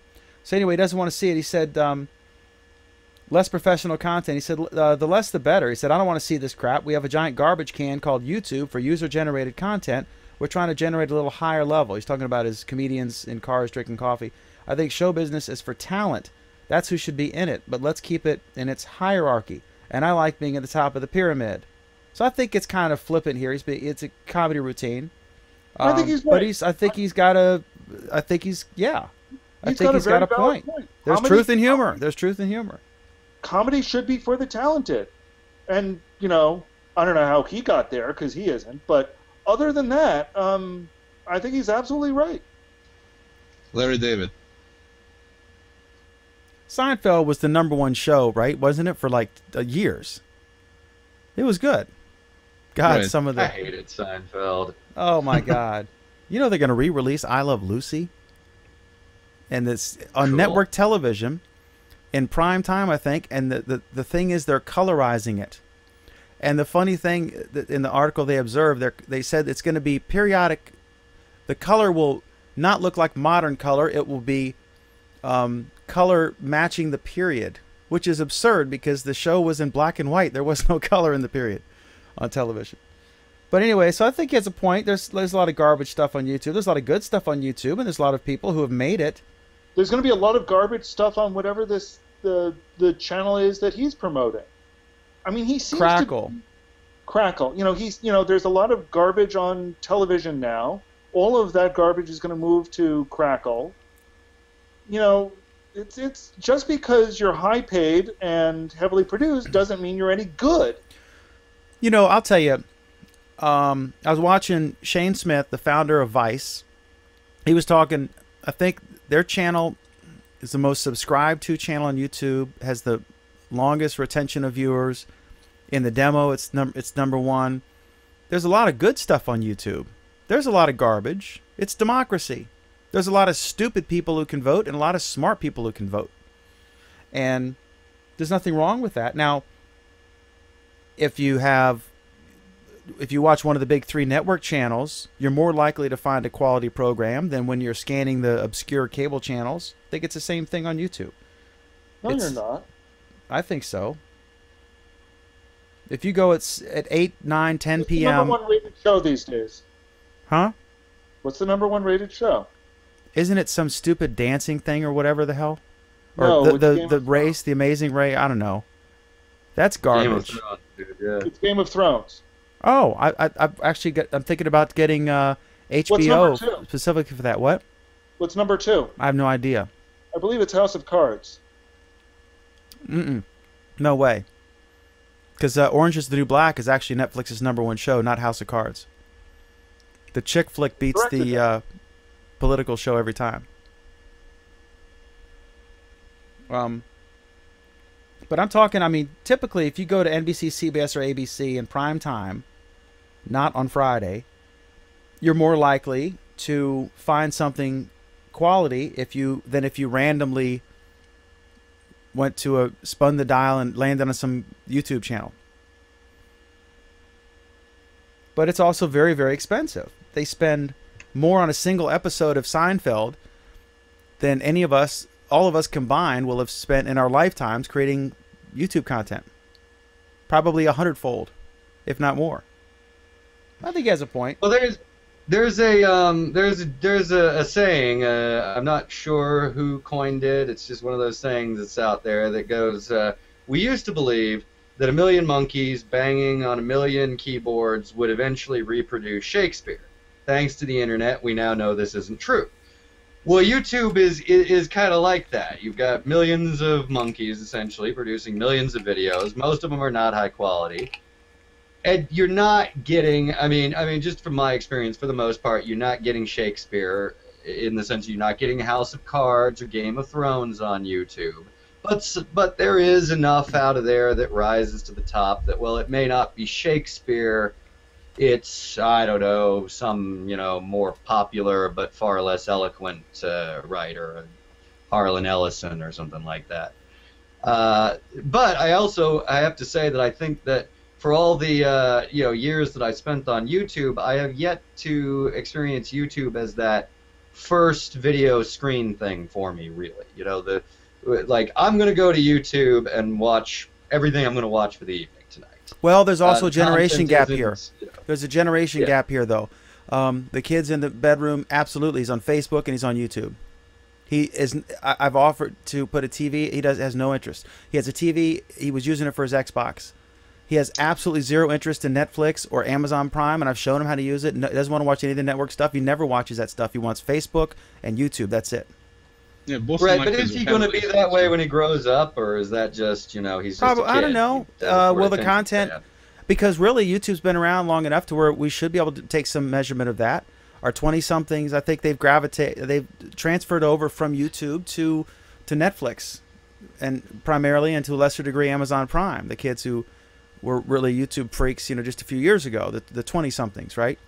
So I think there's some of that, but clearly if it's just like you know comparing YouTube to uh, a cultivated higher budget thing is like comparing um, an Amazon's self-publishing platform to the content you'd find in a Barnes and Noble.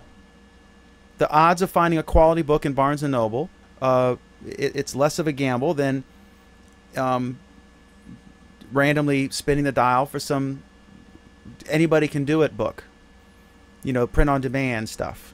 So there's nothing wrong with either.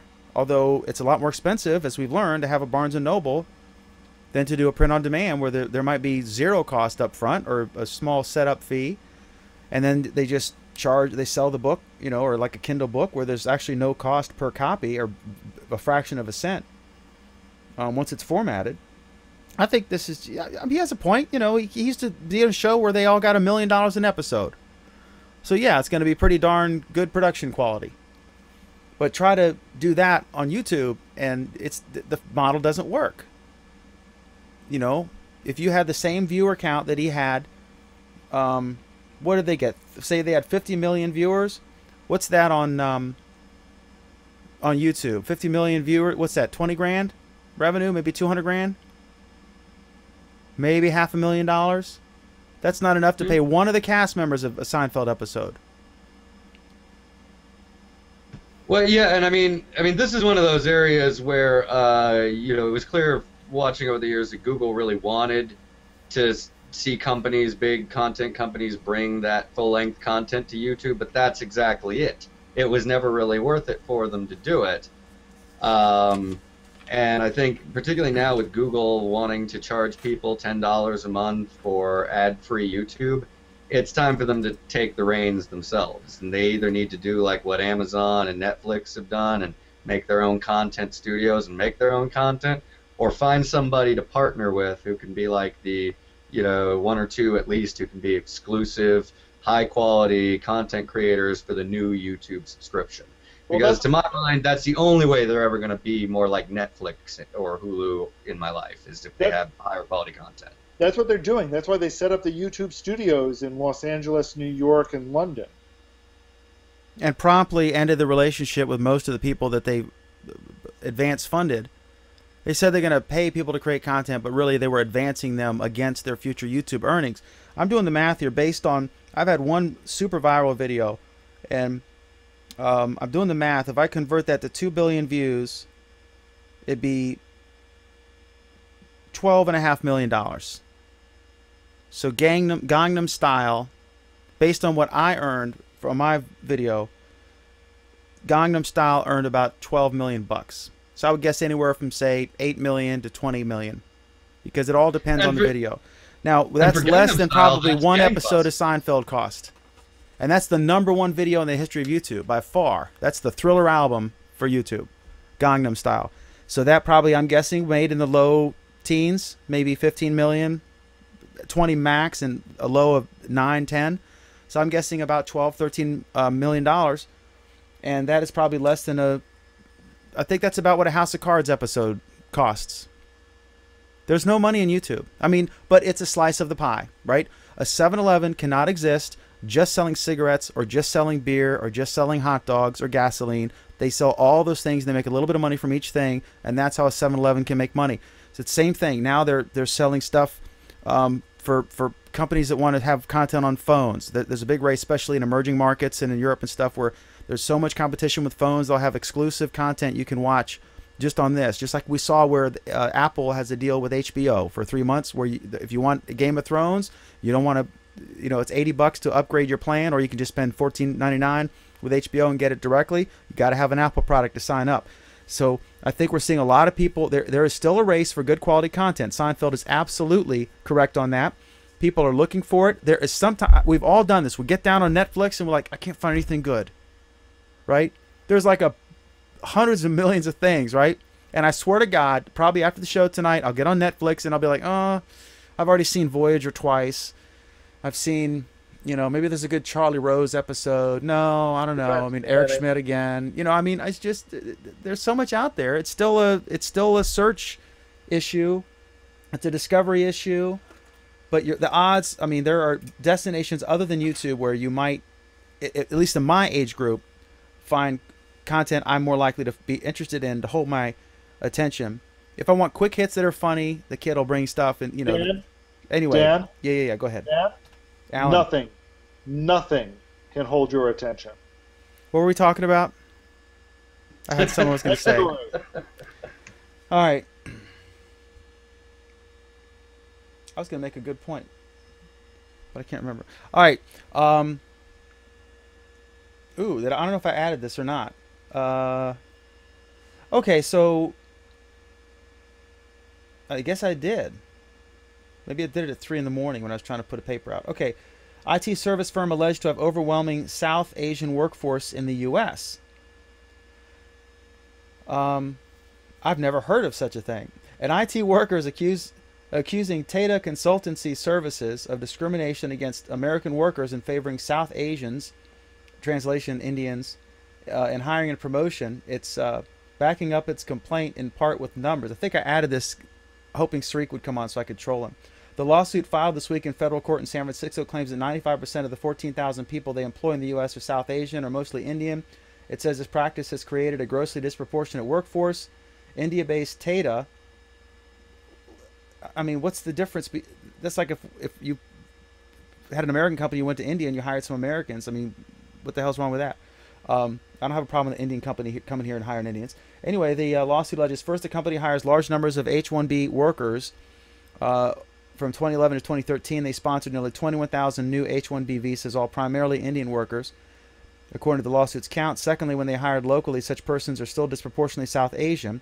Third, for the relatively few non South Asian workers that they hire, it disfavors them in placement, promotion, and termination decisions. That is certainly a subjective criteria at best. The lawsuit, which seeks class action status, is similar to a lawsuit filed against Infosys by the same Washington firm. Is there anything to this, Alan?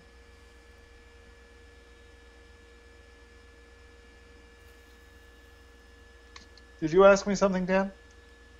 Anything to this? Let's ask the. He hates it when I call him Russian guy. What do you think about this, Oleg? I don't have a problem with an Indian company coming here and hiring some Indians.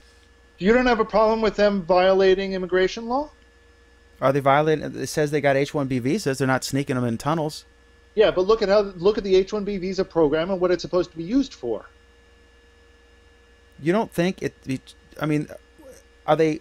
Is this a? We, I don't have enough details here. I mean, are they hiring these guys and, and housing them in slums and paying them minimum wage? Dan, Dan. And it's Dan. a wage issue. Look at Are they-. Dan. Look at what the H-1B visa program is supposed to be for. If you It's can't find to be- local homegrown talent, then you use this to get the special skill sets, usually high skilled STEM stuff. And, and there's not Right. enough of them to go So- around. And Mark Zuckerberg on down, they're all bitching about that, but there's not enough. Right. So, so if 75% of your company is made up of people with H-1B visas, might there be an indication that they're just trying to screw over the immigration law? You mean take advantage of it to get people because they want brown? I mean, he's saying what are you saying? They want brown guys, or what? What is or people who fit into their culture, or what? I'm not. At, I'm. I have no idea why. I don't care why either. I'm just interested if they're abusing the H-1B visa law. If they're doing it legally, I mean, I don't know. There's no allegation you- that they're how can you abuse violating the the law, law. legally? How do you abuse the law legally? If you abuse it, it's not legal anymore. We've already finished the Comcast uh, topics, Oleg. Well, I mean, I, the, the argument here would be that some laws, you know, they they don't necessarily they're not necessarily going to like micromanage, for example, every single person you try to get signed up for the visa. But if the point of the law was to bring in skilled workers when those uh, when when those skilled workers weren't available locally, and those workers were available locally, then it was abusing the purpose of the program. Uh, it's a subjective argument, but those kind of arguments often do lead people to get frustrated with a program, which leads to new restrictions that often aren't even good. Like, uh, you know, one welfare queen takes advantage of the system. Suddenly, we got laws that are hurting uh, people that are, you know, using the system correctly. So that's why it matters when somebody manipulates the spirit of a program, even if they're keeping to the letter of it. And this, and I'm going to say this is, a, you know, this is I'm an I'm an American straight white male, which means I'm the one group in the United States of America that, according to every other group, You're not protected. cannot be discriminated against. That's the thing. no see, laws protect me whatsoever. we all the go. theory but- is I'm so protected by privilege, I don't need those laws. Well, I've never enjoyed any particular privilege that I'm aware of, but okay, uh, as he, as he lives in like this wonderful place in Florida, uh, but yeah, so I mean, we've all seen. You know, you go to the the Jewish-owned camera store, and there's a you know a bunch of other Jewish photographers there. You go to the Italian restaurant, there's a bunch of Italians. You go to the Mexican restaurant, there's a bunch of Mexicans working in there.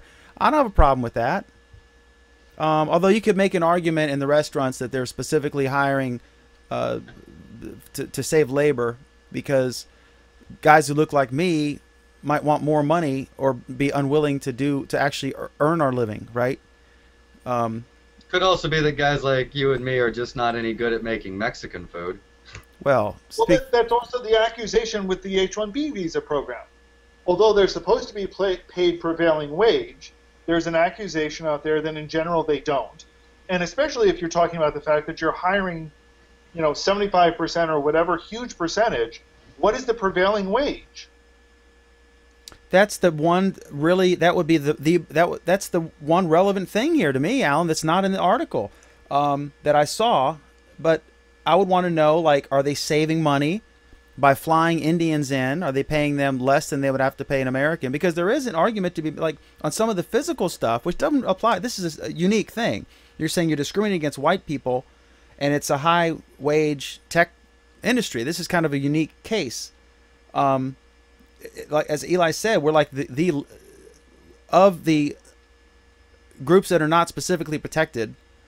Um, we are the least protected, and I just uh, I, I could see without the data of are they saving money? What's the incentive to do this? If it's cultural, like the cameras, like if you go to B and H Photo, you know, there's a common you know characteristic and, and if you go to the Italian restaurant or the Mexican restaurant or whatever, you can see a common characteristic. I think that's not necessarily a financial thing. It's more like a cultural thing, and I have no problem with that. When we were in the embassies overseas, it was mainly the Americans who did all the important jobs, and the local guys would like clean or run the cafeteria.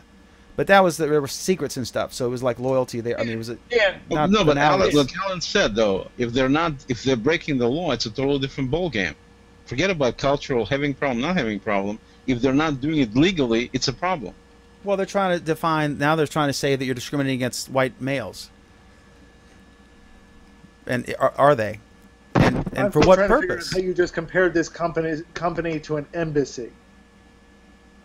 That's that's just rich, Dan. That's how I. Even for you, that's a good one.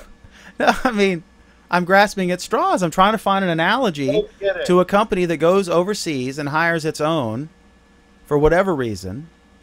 Um, we don't know why. No, par- partially no question. It's a cultural thing. People speak your language. You know their customs. I mean, all that stuff certainly works on all levels. I mean, everybody wants to do it. Uh, but at the same time, I'm totally with Alan on this. If it's illegal, they shouldn't be doing this. Well, it, it's a civil matter if it, if it is. I, I just like I, I see White House applesauce. They're right here in Winchester, and they literally have a it's Camp Jamaica. They go and they get these guys from Jamaica. They fly them here or what, however they get them here. They house them. They feed them. If they could find local kids in Winchester to pick the freaking apples, it would probably cost them a whole lot less Dan, to get the apples picked than flying someone from Jamaica and housing them and giving them room and board and then flying them back after the season. But Dan? they can't find the locals, so they go to Jamaica. Yes, sir. are they using H-1B visas to bring them in? Um, how is that the distinguishing characteristic? If they're filling the form out, what what what are they violating? They're saying the H-1Bs, but I don't see where that's related to the lawsuit. That's just the, the means by which they're doing it. Because H-1B visas, every visa has specific criteria about bringing about when you can bring somebody in. H-1B visas are supposed to be very, very targeted for very, very specific career fields for very, very specific purposes. And one of the purposes is not that you like having people of the same culture around you. There are different visas for that. And that's fine. But that's not what H-1B is supposed to be for. Right, like I mean, let's suppose that uh, this is one thing I could see being very possible. You know, maybe the, a lot of this is like people bringing their families in, right? Well, as Alan says, there are other sorts of visa processes you'd you'd go through, other sorts of immigration processes you'd go through to bring family other over, other than claiming you needed this professional visa when you don't really need it. I just get, you know, maybe I'm old fashioned, but I just think people whine too much and, and think everyone owes them something. And I think, you know, if this guy doesn't want to work there, go work somewhere else. But I know there's no H 1B for an apple picker or an unskilled dishwasher in a Mexican restaurant or an Italian restaurant. So that is a and distinguishing yet, and yet, characteristic. all the restaurants have Mexicans washing dishes. But you know, Oleg, if you were in a city where they didn't like Russians or whatever, you know what you'd do? You'd start your own business. And you aren't in a, you are not in a city where they don't like Russians, but you did start your own business, and nobody Mhm. owes you anything. You earn your money every day. I came here legally though. You're- Dan, you're, like the only I'm one. Boom. confused. Dan, no, Dan, Eli. I'm Boom. confused. Who owes who what here? They're saying that you know that this that they're being discriminated against, in in their. I assume he's a white guy. I don't know. Maybe he's black or. I don't know what he is. Um, I don't know if it's a he. It's a class action, so I guess it could be a combination of things. I don't know.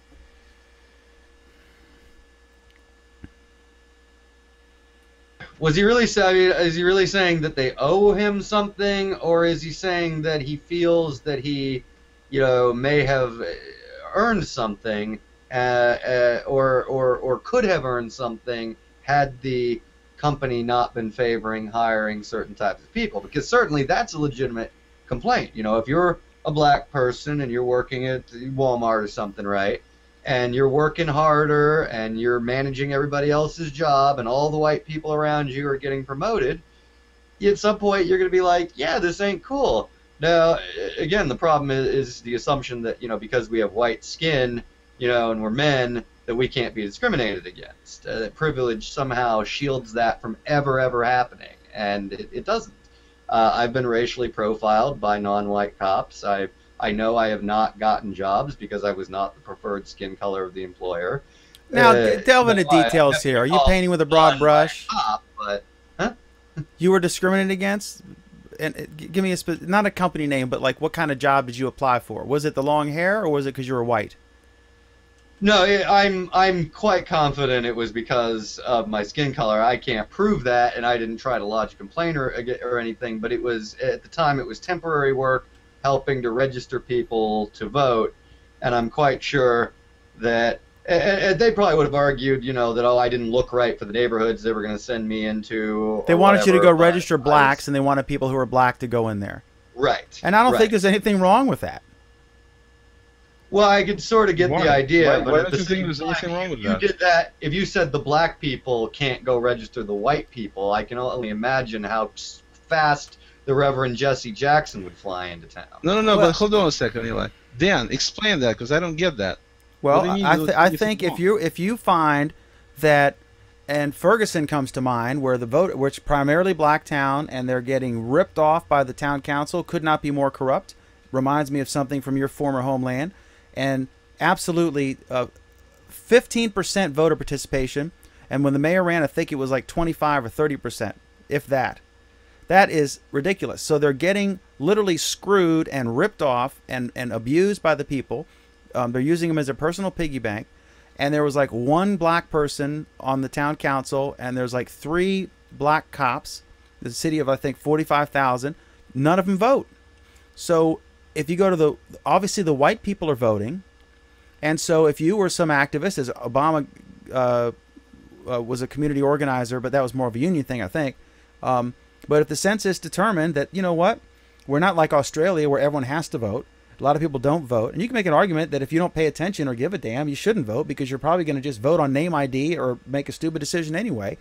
But in the end, if you decided that you find a group is disenfranchised, uh, just like if Google Fiber wanted to go into black neighborhoods because they're not getting the uh, sign up rates that they would like, I think that they might want to get blacks to go in there. Or if you were going to a Russian neighborhood or a Hispanic neighborhood, you could make a stronger case there because you'd want someone who was a Hispanic and spoke Spanish to try to sign people up or get them to register to vote or what have you.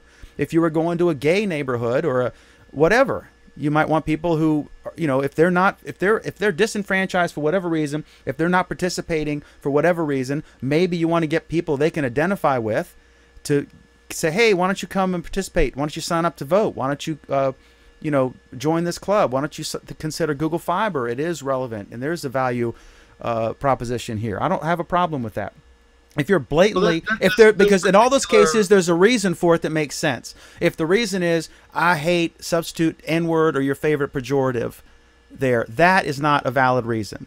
To say we're trying to sign up blacks because they're not voting and we with, without all due respect we want to get black people to go in there because they, they maybe he can talk the talk better, or we want to get Italians to go in the Italian, or the Jewish ghetto we want to get Jews to go in there, or the Russian ghetto we want to get Russian, you know, someone who speaks like Oleg to go in there because he's going to be more effective.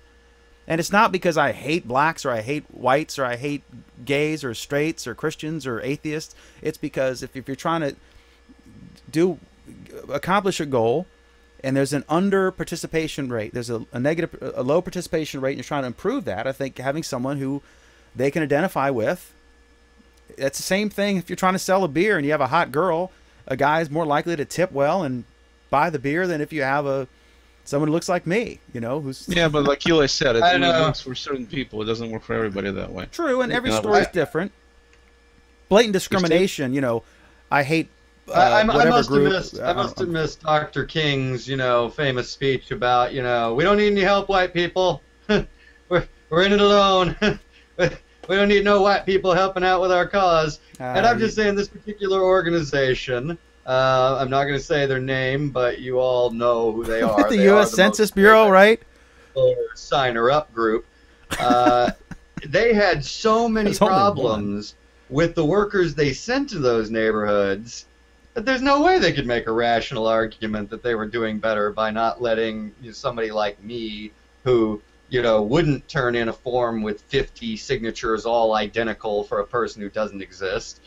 And, and anyways it was a pay per voter thing. And i mean it would have been very easy for me to essentially self-select out if i wasn't any good at it. Uh, and you know th- it's a very slippery slope when we start saying you know what reasons are okay to favor some groups and what are not. I get there may be areas where it's contextually preferable but you off- were you- know, were you interviewed on like law enforcement decisions i'm very wary of that kind of thinking Were you interviewed? Um, were you evaluated based on a piece of paper, like they looked at your resume and you were rejected, or did someone have a conversation with you for at least thirty seconds? Because I can't imagine if someone had spoken to you and met you, that you would not have had um, a favorable impression on them that would have uh, superseded any objections based on the fact that you're, you know, obviously a, an evil white person. And I don't think they thought I was an evil white person. It's I probably because you're from that. Florida. I mean, what other excuse does someone need? I think they just well they were too. Uh, I think that they they were just following a theory, which you know, uh, as you said, there may be cases where it makes sense, but it's a very dangerous, slippery slope theory that those like us are going to do better for our group. And you know, just again, I don't recall Dr. King ever saying, you know, thanks, white people, we don't need your help, we're in this on our own. You know, I mean, if somebody from another group is is there and they're willing to help, you know, give them a chance. Don't make assumptions. Ideally, you would Uh, have a colorblind society. It's not so much colorblind. It needs to be based on merit, nothing else. Exactly. It- it- when I say colorblind, I mean you're not judged based on that. Oh, don't hire that guy. He's black, or he, he's, uh, you know, it's a woman. I, I don't want a woman in the job. I mean, if if um, if, if that's stupid, ignorant prejudice that is not acceptable to me in any way. But if it's a specific case, um, like Mexicans in a Mexican restaurant, because frankly, that's what customers want. They don't want Lisa and Sally. Okay, They wouldn't okay, think it's- it's a legitimate Mexican example. place. Let's go to a specific example. You just talked to Eli for a while, right? Mm-hmm. And you kind of get a basic idea about his how smart he is, how capable he is. Do you think he could do this job? Which job is it? Appealing to inner city blacks to get them to register to vote? Do I think he'd be good at that? Versus an inner city black person? No, Eli, what were you supposed to do actually specifically? I think he's interviewing now again, somewhere. He stepped away. It's okay. But anyway, I'm sure he could have handled the deal, and most likely he wasn't hired exactly for the same reasons that everybody moans that other people don't get hired. It's the same. Like I said, it all it needs to be. Eli, can you hear me? Yeah. What was the job? What was the job? Eli? It was signing yeah, I up. can for- hear you. What was the job requirements? What were you supposed to do?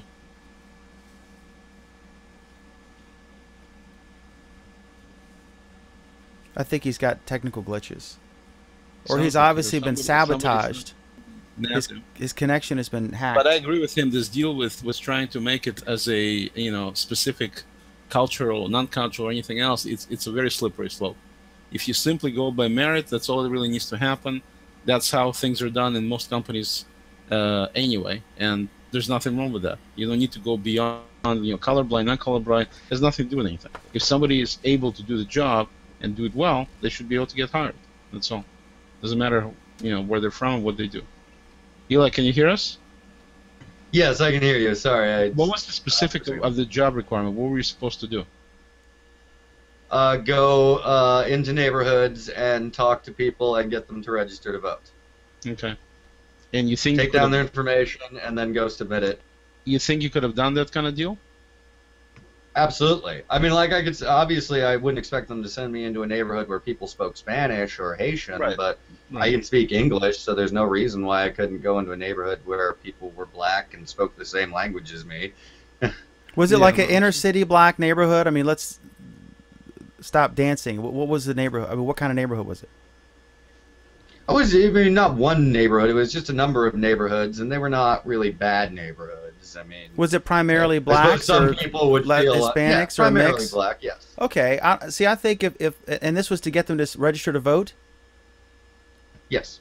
Was it for a political organization or like the re- local registrar? No, it was. A, it's an organization, a for-profit, uh, but they're but they're a political organization. I think assume it wasn't the for-profit. At any NR rate, Yeah. It was the NRA, obviously. The, the, it was the Tea Party trying to get you to um, go in the. So I, I, don't, I think I don't know. If if it was purely based on the color of his skin, I would say I would be surprised if they had a, a conversation that lasted longer than thirty to forty seconds with him, where they would have turned him down. That just doesn't make any sense. Because I did. I had a, a conversation about five to ten minutes with the guy, and uh, and and my sense, you know, from I mean, he never came right out and said it, but my sense was that he did not feel that I should go be going into those kinds of neighborhoods.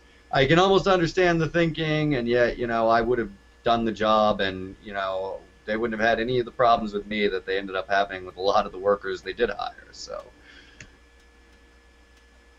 Well, I think that was a mistake on their part. We can all agree on that. That was their loss.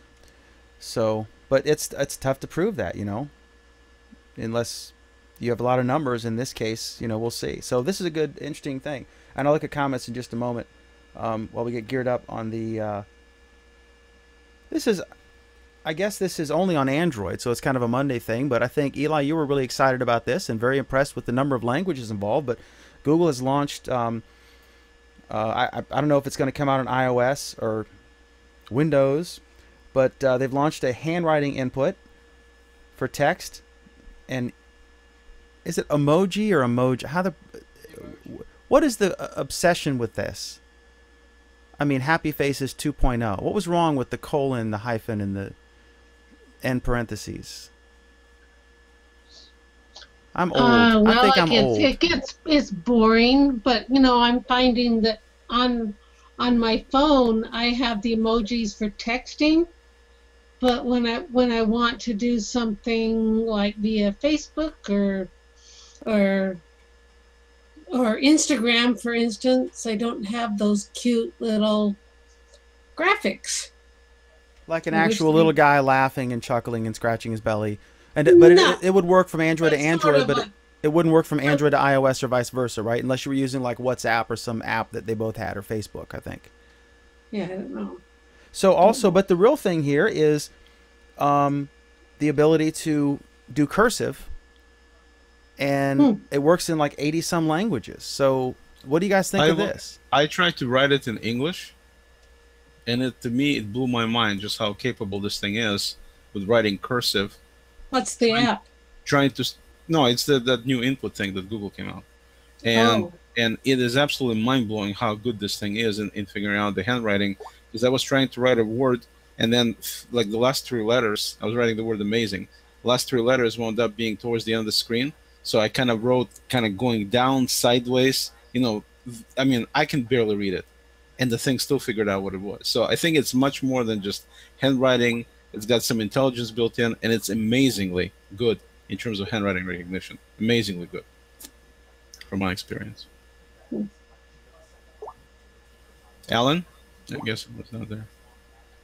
I don't know. So what are they pushing out? What are they pushing out, Oleg, for your It- It's it's Android a, though? it's an app called Input. I can't remember. I don't have my phone with me. Okay. If, if you if you look for it, you, you'll find it's a Google app, and you install it, and then you know you get like a little world icon on your keyboard, and then if you click on it, then you're able to go ahead and you can write one letter at a time, or you can write you know multiple letters, and it's just amazingly good at handwriting recognition. Amazing. It's great to see how this has evolved. I mean, I still remember, you know, I still hail back to original Palm input, um, and that was great. But you know, you had to to learn how to do it correctly. So this is world. Is it like an input method keyboard or? I don't know. Yeah, once you install it, it winds up being like say you click on a little world, and you can either do it by hand, by you know writing by hand, or you click on it again and you get back to the regular keyboard. So either way. Is it like Google Keyboard or Google? it's Hin- part. It's Google part. It becomes part of Google Hindi Keyboard. input? Is it is it uh, Hindi input? The Google. No, no, no. This is a new app to install. Yeah, it's a Um, new app. Okay. I I only see. I only. I only see the two. There's Google Keyboard and Google Hindi Hindi input. No, this is this is a new app that you can install. Um, yeah, no, I'm looking. Yeah, I'm trying to find uh, Google handwriting input. Right, exactly. Okay. and you can locate it on the Google Play Store. Or I'm probably about to send you That's the URL for it. Yeah, it's great. I don't have you played with the thing. I have not had a chance to play with it yet. No. Uh, it's amazing. It's absolutely just blew my mind how good this thing is, considering how scratchy my handwriting is in cursive. And like I said, I was trying to bunch up a bunch of letters together. Ah, there you it go. still, it still was just amazingly good at, at recognizing the thing just perfectly. Just amazing. So I definitely recommend installing it for everybody on, on their Androids. So you could just do it with your finger then. Yep. You can do finger, you can do stylus, yeah, whichever way you well, want to do it. I, I have like on my no, um, I have a note tablet, so Yeah, yeah. It's, it's a, I think it's especially good for tablets because they have a lot more room. But even I, I try on my, you know, I have LG Yeah. G3, uh, and it still was just like I said, just blew my mind how good this thing is. oh my gosh, there's a lot of uh, there's a few five stars. Yeah, yeah, no, definitely a five star app, no question there. Okay. And like I said, I think it has some intelligence behind it, not just plain old recognizing of pixels. I think it, you know, looks at words and things, and, I got a question. and it does a good job, really good job. So I, am gonna um I'm gonna go to comments here real quick, but let me ask. I wanted to ask you a follow up. This is Richard, 19, high school senior. We were discussing um, television quality content. Like there's linear television, like channel ABC, CBS, NBC, and the cable channels, Fox News, CNN, Discovery Channel. Then there's like the streaming services like um, Netflix and, and Amazon Prime, instant video and then there's Facebook and YouTube. And I find um, I've even set up the Netflix app on your phone and the Prime app, and you seem to have no interest in that. You're more into Facebook and YouTube video, and I, I think we were talking about how you don't find the quality. I said it's a generation gap. I said the young people are absolutely going there for their saturation video. Is that that's not just you, right? That's like all your classmates. Yeah, for like music, closer so I can hear you. yeah. For music, we'll normally use like a music app, something that'll download music, or we'll go on YouTube, look it up, or, or we'll go on Pandora for the most part. When when you showed me Amazon Music, I had never heard of it. I never even knew it existed. That's the free service that comes with Amazon Prime. It's But- pretty cool. but once I actually gave it a try, and it's kind of like Spotify, really. And I had the offline service, like I have music downloaded in, in the cloud. All I have to do is open up the app, and now I can just play music through the cloud. But as far as the video, you have access to traditional television, and you have access to Netflix video and Amazon Prime video, and you seem to have almost zero interest in those things. You seem to be perfectly fine, and not just music's different, um, but for actual content, you, you you prefer the shorter length YouTube and Facebook type clips versus a 30 minute or 60 minute or movie length feature that would be on one of these traditional services. Is that right or not? That's just in my preference. Most people my age and the generations below mine hmm watch Netflix all the time. I, I can ask a friend, Okay. what did you watch on Netflix today? They'll tell me six or seven different shows that I've never heard of. Okay. So it's just your preference. It's Yeah. okay. I'm just different. Yes. Yeah, I think I think Ben. You know, I obviously I see what Ben watches, and you know he's ten and a half, and he does a lot of both. I mean, he watches a lot on Netflix. He also watches Amazon Prime for some stuff, and he also watches YouTube a lot.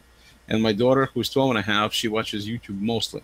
She doesn't do long movies. She does like you said, Dan. So I think uh, it is a preferential deal for you know certain kids. They do watch a lot of YouTube, no question about it. But they also, you know, you can't watch really movies on YouTube for the most. I mean, movie movies. I mean, you go to Netflix because there's so many of them, and so And it's now it's there. it's because they're not on there. right. If you wanted to watch. Field of Dreams, Exactly. you, you you can't.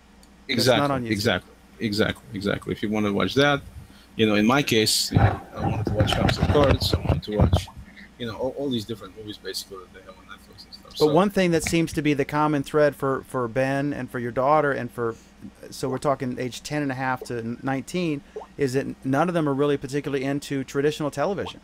no, they're not. The appointment television, you know, you have to get home at 8 o'clock or you have to DVR. Right, exactly, exactly, and that's why because you know schedules, you got school, you got different things going on. It's much more convenient to just flip the YouTube and and do it that way. And speaking of YouTube, by the way, uh, not YouTube, but speaking of Chromecasting, because you know we use that a lot at home. I also have uh, Amazon's Fire Stick, Mhm. and I don't know if you knew or not, but they're totally compatible. In other words, I can actually use the Chromecast app on the phone with the Fire Stick plugged into TV, and it works just fine. Did you know Oh, that? neat. I didn't know that. Yeah, it totally. I, I- I did it accidentally one time, and it started working. I'm like, whoa, wait a minute! I, I didn't put Chromecast back in. It just has the Fire Stick in the TV, and it totally streams, totally fine. So is there any advantage of the Chromecast versus the Fire Stick or, or There's no advantage per se in each of the other. The advantage is you don't have to have two. If you want to use, if you want to Chromecast anything from Netflix, Mhm. you can, you know, instead of using the interface that uh, Fire TV has, you can just do regular Chromecast directly from the Netflix app. can I do Prime Instant Video from my phone and turn it into the Chromecast? you can do right if you have the app yeah of course of course Okay. exactly Because I think you things. could initially. initially you could not there was no prime ability to watch on android that's why you couldn't do Okay. anything but no, but then they add, they added the app that you can download that did allow you to stream amazon movies i mean amazon prime stuff. And then of course if you have chromecast then you can chromecast as well. I has think the- nothing to do with the other part. How much time he almost never sits on a desktop computer um, or a, a traditional television set. He prefers his phone. Right. Um, is that the same thing with your two kids? Yeah, basically, I mean, my kids don't have phones of their own, so they either borrow mine or my wife's, or they, uh, you know, they have tablets, so they use Right. a tablet to. And um, and in, uh, in and uh, Rita, uh, she usually just uses like a Chromebook, and she does the YouTube. That's mostly what she does. She doesn't watch Netflix movies, just her preference. so you have So a she uses the television you have a television at home it just sits there and the kids even if they, they have the ability they they have no interest in sitting on the couch turning the television on and scanning the bands like we would have at their does. age Ben actually, you know, even though he watches a lot of stuff on Chromebook, I encourage him because of his eyesight, so he doesn't ruin it, not to watch something for this long, this close. So basically, I kind of semi-force him to watch it to Chromecast, and he likes Chromecasting. I mean, okay so I mean, it's, it's much nicer to look at the 42-inch TV than to watch a movie on a little dinky 11-inch screen. I mean, Right. It's always nicer. Sound is better. Everything is better. But in So, the yes, end, it's it's- still uh, generating. I mean, choosing something from a mobile device and then watching it on a larger screen. But it's still Right. not really watching NBC or CBS or ABC. No, we do not. uh, We cut cable. We do not watch. None of us Right. watch that. Yeah. Anymore. Okay. It's, it's good. I even, think, even though I did put an antenna so we can have local channels, so we can watch ABC, NBC, CBS because of the antenna thing. I mean, one of those antennas you copy. You know what I mean? One okay. of those fifty dollar cost videos. So yeah, Thank you. Yeah. Yeah. So, uh, Reed Hastings was talking about. He said uh, that he's the head of Netflix, and they just had a wonderful quarter, or they had an earnings report. I don't know if it, I, I don't know if it's a quarter, whatever it was, and uh, their stock just went through the roof. And it was he talked about. Um, he said his competition. He said this before in different ways, but he was pretty forthright about it. He said his competition is not Amazon Prime or HBO Go or whatever it is. His competition is uh, traditional television. He said it's got a 20-year life expectancy at best. He thinks. I think they're going to start falling, but um, just like newspapers, paid newspapers. No, I totally agree. Because, Yeah. because the big difference is, like you said, I can watch whatever I want whenever I want. So if you have that ultimate flexibility, as long as you have the selection ability, one of the reasons I think Amazon is trailing, and you know, if they get their act together, they wouldn't have to trail Netflix, is the the uh, the, the the quantity of content. Having the same thing as Netflix, or as much as it, is not enough. They need to have something a little bit beyond that, and so that's the trick if they can figure it out. But And in terms of anybody else, I mean, what can real studios, what can ABC do possibly? What can they do? They can start a service similar to Netflix. Yeah, But we already have Netflix, and they already have market share. because people still Yeah. want something that's the quality of a House of Cards or an Orange Is the New Black, um, a CSI Miami. They they like these shows, and Right. they're very expensive to produce. And the model th- there's they cannot pay for those with a YouTube model. It's just not happening. They will if they all went to YouTube, they would not be able to uh, um, No, but the have that Netflix quality model of content. But the Netflix model works. Yeah, it You does. get people to, yeah, and so that's all they need to do. Well, we don't know. It's kind of like when Sirius hired Howard Stern. We don't know because they haven't really broken out if that was a good thing in the end, what they paid him and what they earned. But they got a lot of attention. They got new subscribers, so maybe it works. But um, we'll see. I, I just worry. I don't like the exclusive model that we've had before, but I do like some of the content that the vast wealth that that model produced has created for me to watch.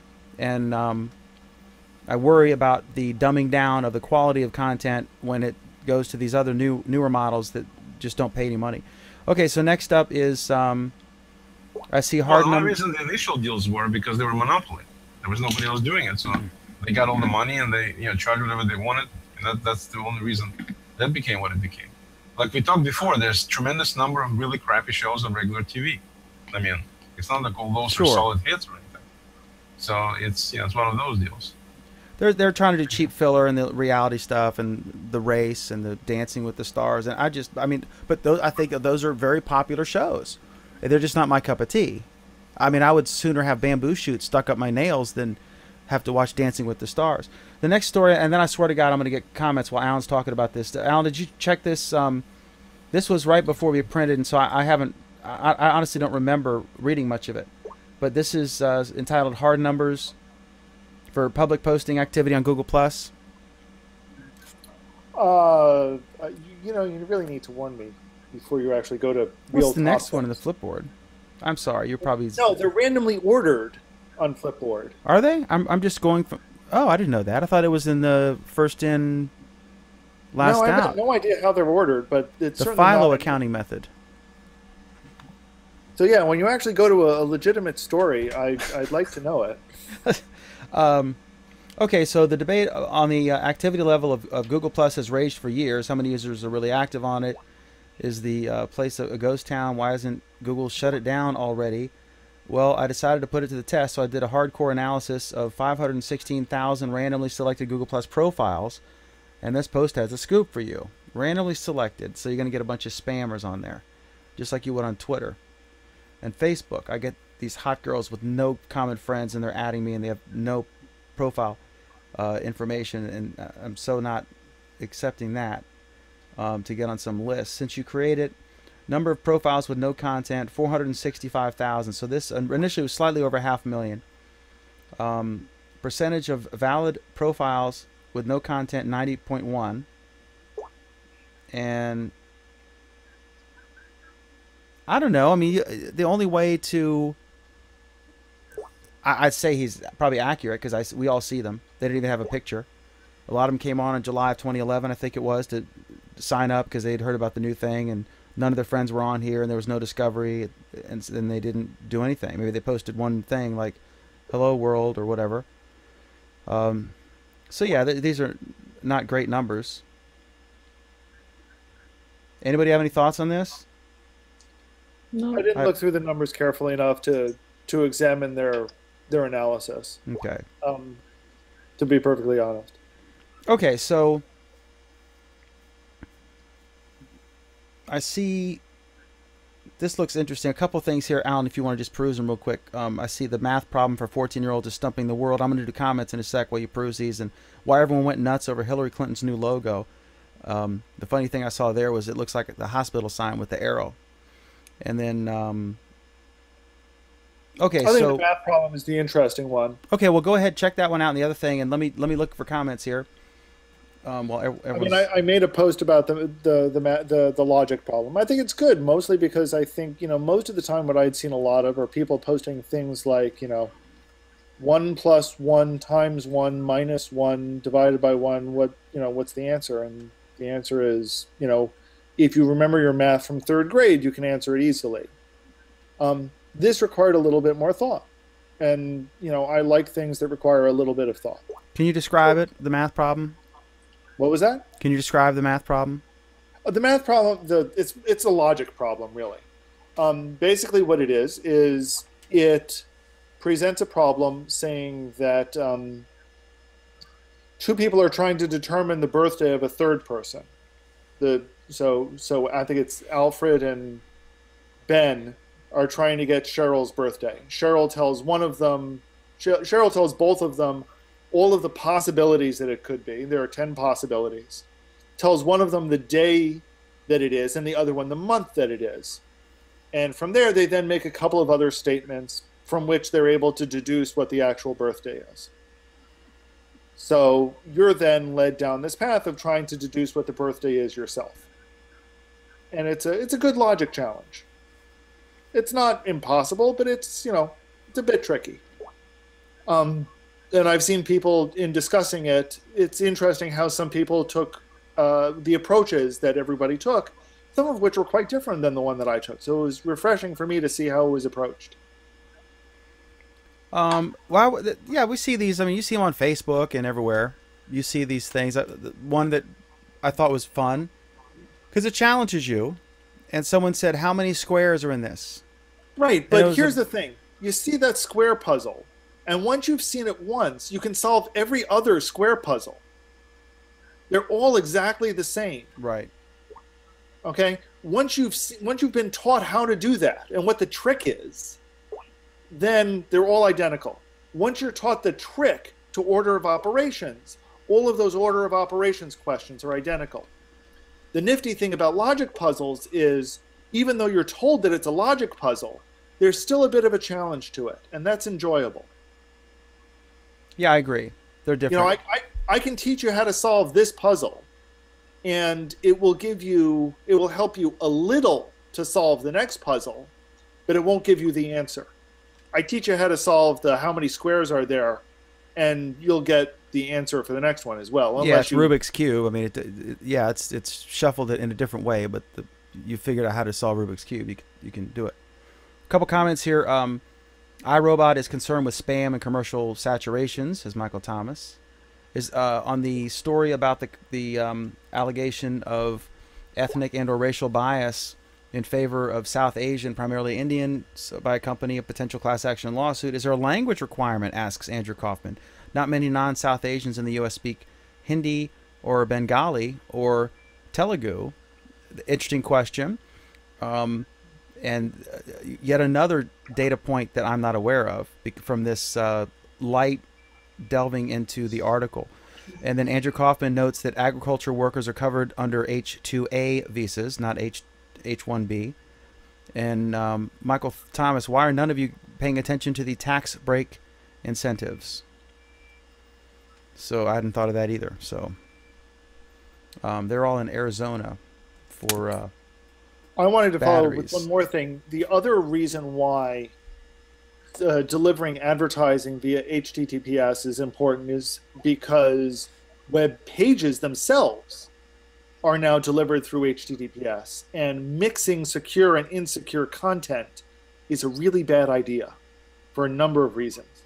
So this now makes it so that if you're delivering your content securely, you can also deliver your advertising securely and that solves a whole bunch of problems. Okay. None of which are solved on this program. So, um, all right. So the comment tracker is sort of working, and I see that there was. How do I tell if it's a live comment? If I look at the thing, what, what's the difference, Alan, between like I'm looking here at the player, right? So I see it. Next to the player, public view. It says comments. Is that a comment on the video, or is there a live comment that's different that's not being picked up by by the API for the comment tracker? Because someone asked about that earlier.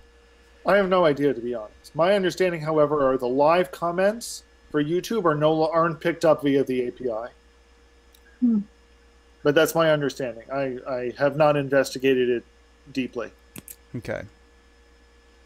But we still love Gerwin, and he's going to work all this out That's Hopefully. right. because he's the man. Um. All right. So have we covered all the official topics? Dr. Furstenberg, is there anything else you're dying God, I to? hope we have. What's up with this logo thing? Hillary Clinton's logo. Who freaking cares? I thought her video was good. Did you like her video? I didn't watch it. It was good. You should watch it. It was well done. Um, any predictions on who the Republican nominee will be? Ted Anyone? Cruz. I hope. I'm sure Hillary hopes he is. I have no predictions whatsoever on Mhm. politics. I'm not saying favor. I'm saying who do you think will win? I would guess it's going to be Bush versus Clinton. I think the money's on that. But we'll see. Hmm. Wouldn't that be a change of pace? All right. So anyway, um, how was your week, Sheila? In J- Uh, West week, West week Jordan, Utah? two weeks. Yeah, it's been a little while. You were off. You were at the Betty Ford Clinic for a while, right? Because you been That's running, yeah, that's running with some wild crowd. that that's right. Yeah, they locked me up and threw away the key, and I escaped. um, I like the update to Snapseed for my phone. I heard about that. Uh, Mhm. it, Snapseed is the Oh God. okay. Oh, Alan will weigh in on that. Snapseed is um. How do you describe? What's different about that and like Instagram a- and these others? What, what It's a much better photo editing tool than Snapseed ever is or will be. what S- Snapseed is better or Instagram's better? Snapseed is better for editing your photos. Well, I know Vic Gundotra, the former Google Plus head, uh, was falling over himself praising the new Snapseed. And I don't know. I guess it's an Android thing or both. I think it's No, on it's both, both. but but they they did some updates. Um, so I guess uh, how do you how do you like to use it? I mean, obviously, I guess you could add a border, maybe add a watermark, or what, what does it do? No, no, you can't you do do, it? borders or watermarks, but you can enhance your photos. You can give it some blur, some lens blur, or or all kinds of textures. Okay. Um, you can, you know, saturation, contrast, uh, sharpening, all kinds of stuff. Today, um, But- I did a photo. I posted on on all my everything, and it was I was just at a red light, and there was a beautiful double rainbow. And Mm. I don't know if I've seen one. If, if I have seen one before, it wasn't recently that I can recall. It was just gorgeous. And Richard actually was in the car. I picked him up from school, and he noticed it and said, "Oh my gosh, look at that!" And so I took a picture. What might I do with Snapseed? What would you do with with the shot like that of a pretty blue sky with double rainbow? Well, you can edit it, and they use also select selective editing on there too. But you can make the sky pop. You can saturate it to where your your sky is a lot more not so bland. You could do things like saturate just the rainbow. So right, the colors on the rainbow pop out more from the blue background. right, right. Okay. That's a, that's selective, selective. Uh, that's a selective tool. Right. Even you know there are things that I've done with double rainbows. In fact, where I've essentially made a black and white photo, except for the rainbows itself, and that really makes them stand out. So you can do things like that, and and Snapseed is pretty good at that now. Right. The first thing I I can recall with it was, was that a common thing before Steven Spielberg used it, and I forget what the movie was, but it was it was a, about a German the German camp, and Schindler's List yeah, wa- was that did it really poorly there, by the way. even for the for the uh, technology of the time he did it poorly? Yes. Okay, There, there, there have there have been colorized elements in otherwise monochrome scenes. In fact, back when the only thing you had were black and white photos, they did or black and white movie prints. They you did used to colorize specific elements by individually colorizing each frame. Mm-hmm. Um, you look at some of Walt Disney movies, for example. If I remember correctly, they had some colorized black and white movies, and they did it by essentially animating the color Hmm. on top of a black and white film stock. My all-time favorite, completely unrelated, and I want to get your view on Snapseed movie story was um, uh, Neil deGrasse Tyson when he talked to James Cameron about the sky and the Titanic, and he said that it's wrong at, at the sinking scenes. Apparently, uh, Cameron just threw up some random sky, or like had the angle wrong, and Tyson's like that is wrong, and and he like was was trolling, and Cameron fixed it in subsequent release of the movie to make sure that it was accurately showing the, the right sky and the right angle. Allen, what do you think about Snapseed and the new release of it? I've been playing with it since I was able to get it, and I, I, I'm I'm mixed in several ways. There are things that I like about it. Um, there are things that I might like about it if I could figure out how to actually get them to work correctly. Like what? Like, let me let me pull it up again because um, like I kind of like brush. The basically the, what the brush strokes let you do is they let you make sweeping gestures and make sweeping changes over it. But what you can do is very limited. So you can't do a brush blur, for example. Oh, I wouldn't know. I haven't figured out yet how to do a spot blur. I can do spot focus, but not spot blur. No, I haven't figured out. I just figured out the spot thingy. I can add more flower. I can add more clouds in there if I wanted to. Right. And What's but- a but what's that's a that practical application for a spot blur? Um, they've got what was that, Dan? What's the practical application? Like, when would you want to use a spot blur? Like, what kind of photo I would want to blur your cool? face out. I want to blur out a license plate. Okay. Um, I was thrilled to see that they added spot repair. Yeah, That that was great. My problem, that's what I'm saying. I, my when I'm having problems with spot repair though is I want to repair a teeny tiny little dot, and I go and touch it, and it puts this big blob there. Um, let's try this. So I, you, You know, know what? You can, uh, you can, uh, where wherever you're at, you can. No, you can't. so Uh, so I've got feelings like that. Well, I'm can- disappointed that they still haven't figured out how to do white balance, which they should have figured out by now. yeah. And I'm going to be really, really pissed off if this comes to Google. Well, I want a web version, but if this comes and replaces the current editor that we have, which desperately needs replacing, they're still not giving it the tools that it needs. That's right. They need to. I want to add text to my photos. Right. We need text. I'm I'm shocked that this version now takes away borders. It takes away. It does Are, could you find them? I couldn't. frames. Where? Um, let's see. Oh. Oh, look there. If I scroll down, Uh huh. obvious as shit. Here's something else. Well, see, I told you it's there. You just have to look. Allen Oh, is so naughty.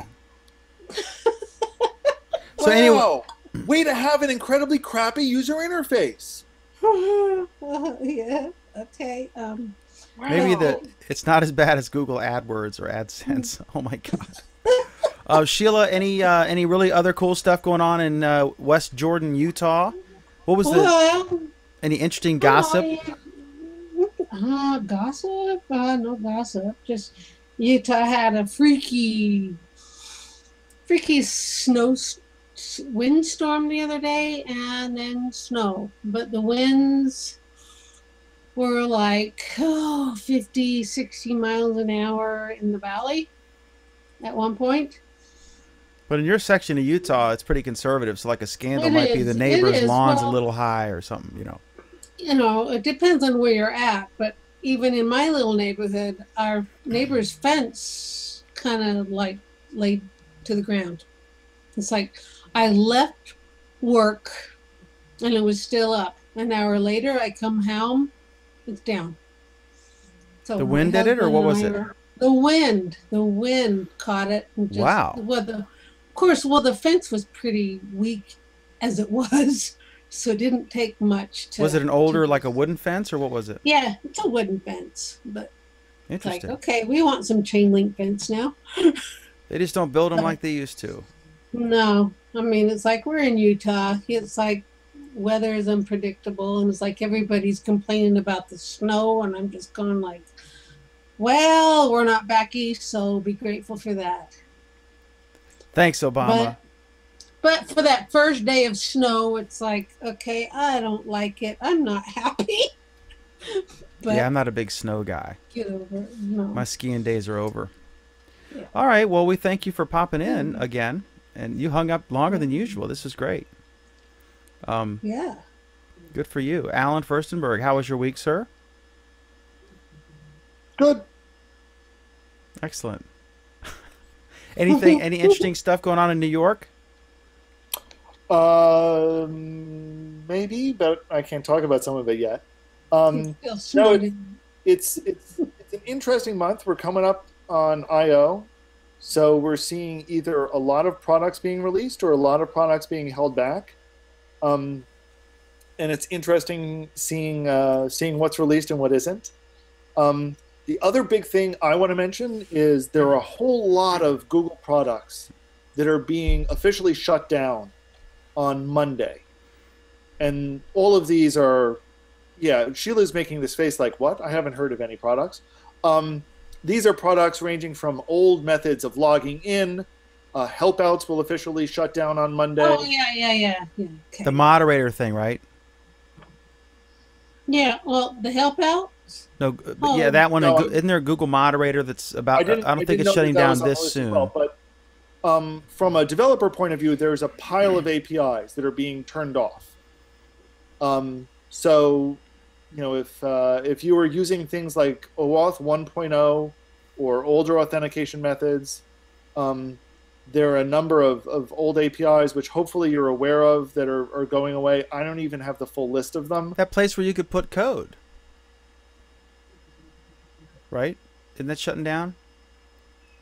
That's in a couple of years. Oh, okay. That was just announced. These are things. These are products that have been announced for like three years now that are going away, and it's all happening Monday. So all of the developers are are anxious about you know. We can't wait to see what questions we get. Now, do you think um, the, the the term Google Plus is going to be mentioned in the main I/O keynote? It wasn't last year, for the first No. time since its inception. No, I don't think it'll be mentioned. Are we going to have Google Plus in two years? I'll say the same thing that I've been saying for four years now, Dan. Yes, we are. I don't think it'll be the same form that it was when it started. Don't think it'll be the same form it is now. But yes, we will. Maybe it'll be enhanced. Well, I'd like to see it enhanced. It, it would be nice to get an enhancement at some point in the in four years. What I don't, what I'd like to have is, you know, the way it is, you can you can put a post out there. Hardly anybody sees it. It's stupid. Well, any other thoughts, Allen? On what? Anything? Anything you want? It's your platform, your soapbox. No. You're in Hyde Park, Speaker's Corner. Use it or lose it. My week was good. Um, it was actually really bad. You got a minute? No, I'm just kidding. Um, I uh, my radio days are over for, for a little while. The uh, I was doing it on Saturday on his network in Virginia, and the host is apparently switching to the main competitor station, and I guess he got a. So I'm, I was doing the one segment. He said it was it was their most popular segment or whatever. He probably says that to each person in the segment. Um, but anyway, it was a great run. It was almost a year. It was a lot of fun, and it forced me to really delve into some stuff. And I would usually spend a couple hours. It's a lot of prep, like sometimes two and a half hours for a, a 15 minute thing, and uh, to try to get it right. So I had a great time. It was fun. I think I did a good job, and um, you know I may pop up. I don't know if if that network or the other one. They're both two networks, so I don't know if I'll end up, but we'll see. Maybe their people will talk to my people, and we'll find out. But anyway, so that that I won't be on the radio tomorrow, but um, I uh, Maybe you can get some sleep. That's yeah. I'm I'm looking forward to that aspect of it. But we did make. Um, I made a. Today we made some pizza dough and for tomorrow, and we made some sauce. We're working on a. Uh, a pretty good sauce. It's a cooked sauce, which the purists will be outraged at. And there's even a quarter teaspoon of sugar in it, which the purists the true purists, if you don't have a buffalo in your freaking backyard making the cheese, there it's not real pizza, right? And um, but uh, anyway, I'm trying to come up with something that the kids and the adults will like. So I think it's pretty good. And then also we made garlic knots when I was in Waynesville, North Carolina. Oh, An absolutely so good. beautiful, beautiful place. We made garlic knots, and Sheila is, is in a, having convulsions at the thought. Well, well, because Talk for a second. I'll show you. I'll show you the garlic knots. There's our local. It's called the Pizza Pie Cafe. They have garlic knots. And, oh, that's the best thing. And then their carbonara sauce over noodles. Oh, okay. I'm hungry. I'm gaining weight just talking about it. So it's super easy to add insult to injury here, Sheila. This is um, these are the garlic knots. Let me get them up on the screen here. It's just little pizza dough, Mhm. and oh yeah, you take a yours looks burned. no, it's just a little charred because we I use a uh, my pizza oven, but they're delicious, Oh absolutely delicious. yeah, I've Mm. seen those. Yeah, so you just um, take, They um, are. They're good. I have a Blackstone pizza oven. It gets up to 1500 degrees, but I, I we did these like Oh. 350 or 400, I think. So, do you have a recipe for your garlic sauce? It's uh, olive oil, garlic powder. I didn't have enough Okay. actual garlic, and I was in a hurry. Um, parsley, salt and pepper, and I put some uh, Parmesan cheese. But that's that's not Mhm. in the traditional recipe, but it adds a little jazz. No, add. That's yeah, it. With, yeah. You take a pizza dough and Mm. you take a pizza cutter and you cut it, slice it. There's a million YouTube Mhm. videos and they're all basically the same recipe. You do a pizza, you know, rolled out like a round pizza, like like Yeah. a little Caesar do crazy bread. Use your pizza cutter and slice Just. Half inch strips and you wrap them around your finger and then stick it in there and you got a little knot mhm. and then you set them on the thing and I just stick them in the oven as as this thing goes around. Ooh, And then when they're done, you don't put anything on them. Then you dip, you put them in a bowl, and then you pour your olive oil with the garlic, salt, pepper, and the parsley, and optionally Mm. Parmesan cheese, and then you toss it just like a, a salad. Mhm. If it's too dry, add a little more olive oil. Um, and they're absolutely fantastic, and they're very, very filling. And then you do you bake them? You bake them with, first. You bake them. You just take regular Oh. pizza dough. You don't do anything to it. You take regular pizza dough. You put it in whatever oven you usually would make a pizza, and then mine cooked in probably 90 seconds, two minutes, something like that. But in a home oven, it would be. My pizza oven's real fast. It can cook a pizza in like in a minute. But there's another show you could do, Dan's cooking show. I know. I have. Uh, I got Running some on shops. Monday. Anyway, uh, so that was my week. Um, we got the paper out, but it was 12 hours late, which was not good. So I'm, I'm on like three hours sleep. So I'm even more of a zombie than usual. Well, yeah, because midnight now for you. It is. It is. And midnight here is a little wilder than it is in West Jordan, Utah, I would guess. Oh, probably. You're probably the only one up in the whole city. Well, it's Uh, nine no. there. Thank y'all for watching. We appreciate it. We have two programs. Thanks to Sheila and to Eli and Kevin, who came in earlier before we went live. To um, Oleg, always good to see him. And it, uh, my only regret is we didn't get to see his wonderful kids, who were so so much fun. And uh, thanks to Allen as always. Uh, we have two programs. Google. Uh, we have this program, and we have on Monday night we have uh, our Android Week, which is a news program about Android topics. That's Mondays at 9 Eastern, 6 Pacific on Google Plus and YouTube Live. Monday at 9 Eastern, 6 Pacific, our Android Week. We have a Flipboard magazine for that as well. Check it out. And uh, we also have this program, which is every Friday at 8:30 to 9 p.m. Uh, 9 Eastern, 6 Pacific. No, yeah. On Friday night, Google Plus Week, the longest running show on Google Plus, in more ways than one. Google Plus Week Fridays 8:30 Eastern, 5:30 Pacific, or sometimes 9 Eastern, 6 Pacific on Google Plus and YouTube Live. Thanks for watching. We appreciate it. Uh, check out the Flipboard magazine for that as well, and um, circle all of us on Google Plus or find us elsewhere. We're on all the all the cool platforms. Thank you very much. We Yeah. appreciate it. Thanks to the panel. Until next time, have an excellent, epic, awesome uh, garlic knot Google Plus Week. Thanks.